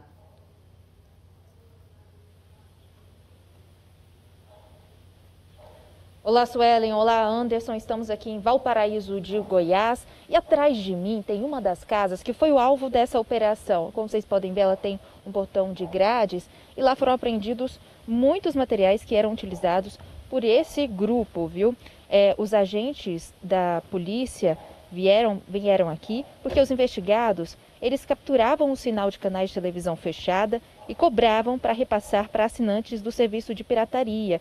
O principal crime que eles têm investigado é a violação de direito autoral, a pena de reclusão de 2 a 4 anos, além de multa para quem distribui conteúdo para obter lucro. Já para quem consome esse conteúdo pirata, tem outro tipo de pena, são três meses a um ano ou então uma multa. Varia aí de acordo com a avaliação da justiça. É, como, como vocês acabaram de explicar, essa operação ela começou em 2019 tem vários estados envolvidos, são operações que estão acontecendo nesta manhã de terça-feira em Alagoas, na Bahia, no Espírito Santo, em Goiás, Minas Gerais, Mato Grosso, Pará, Pernambuco, Rio de Janeiro, Rio Grande do Sul, São Paulo. É, essa operação começou em 2019, agora já estamos na terceira fase dessa operação. Os policiais cumpriram 11 mandados de busca e apreensão além do bloqueio de 334 sites, 98 aplicativos de transmissão ilegal de conteúdo, também foram derrubados 27 páginas do Reino Unido e 3 nos Estados Unidos. Cinco pessoas foram presas em flagrante. O nome dessa operação é 404. Isso é uma referência a um código de resposta do, do protocolo HTTP que já fica ali no endereço dos sites quando a gente entra, sabe? Antes do www.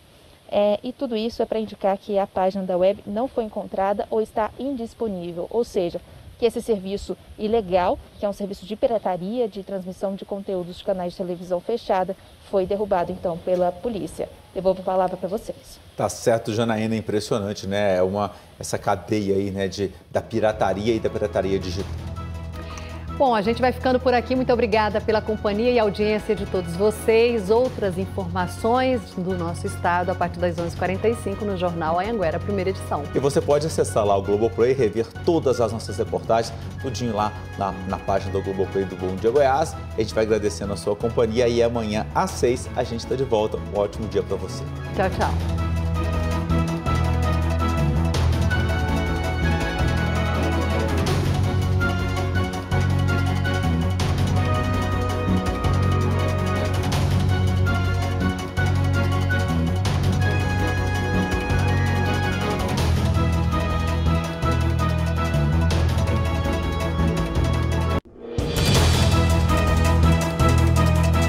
Dia, Goiás. Oferecimento.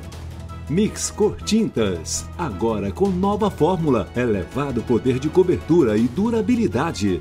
E Comercial Santa Maria,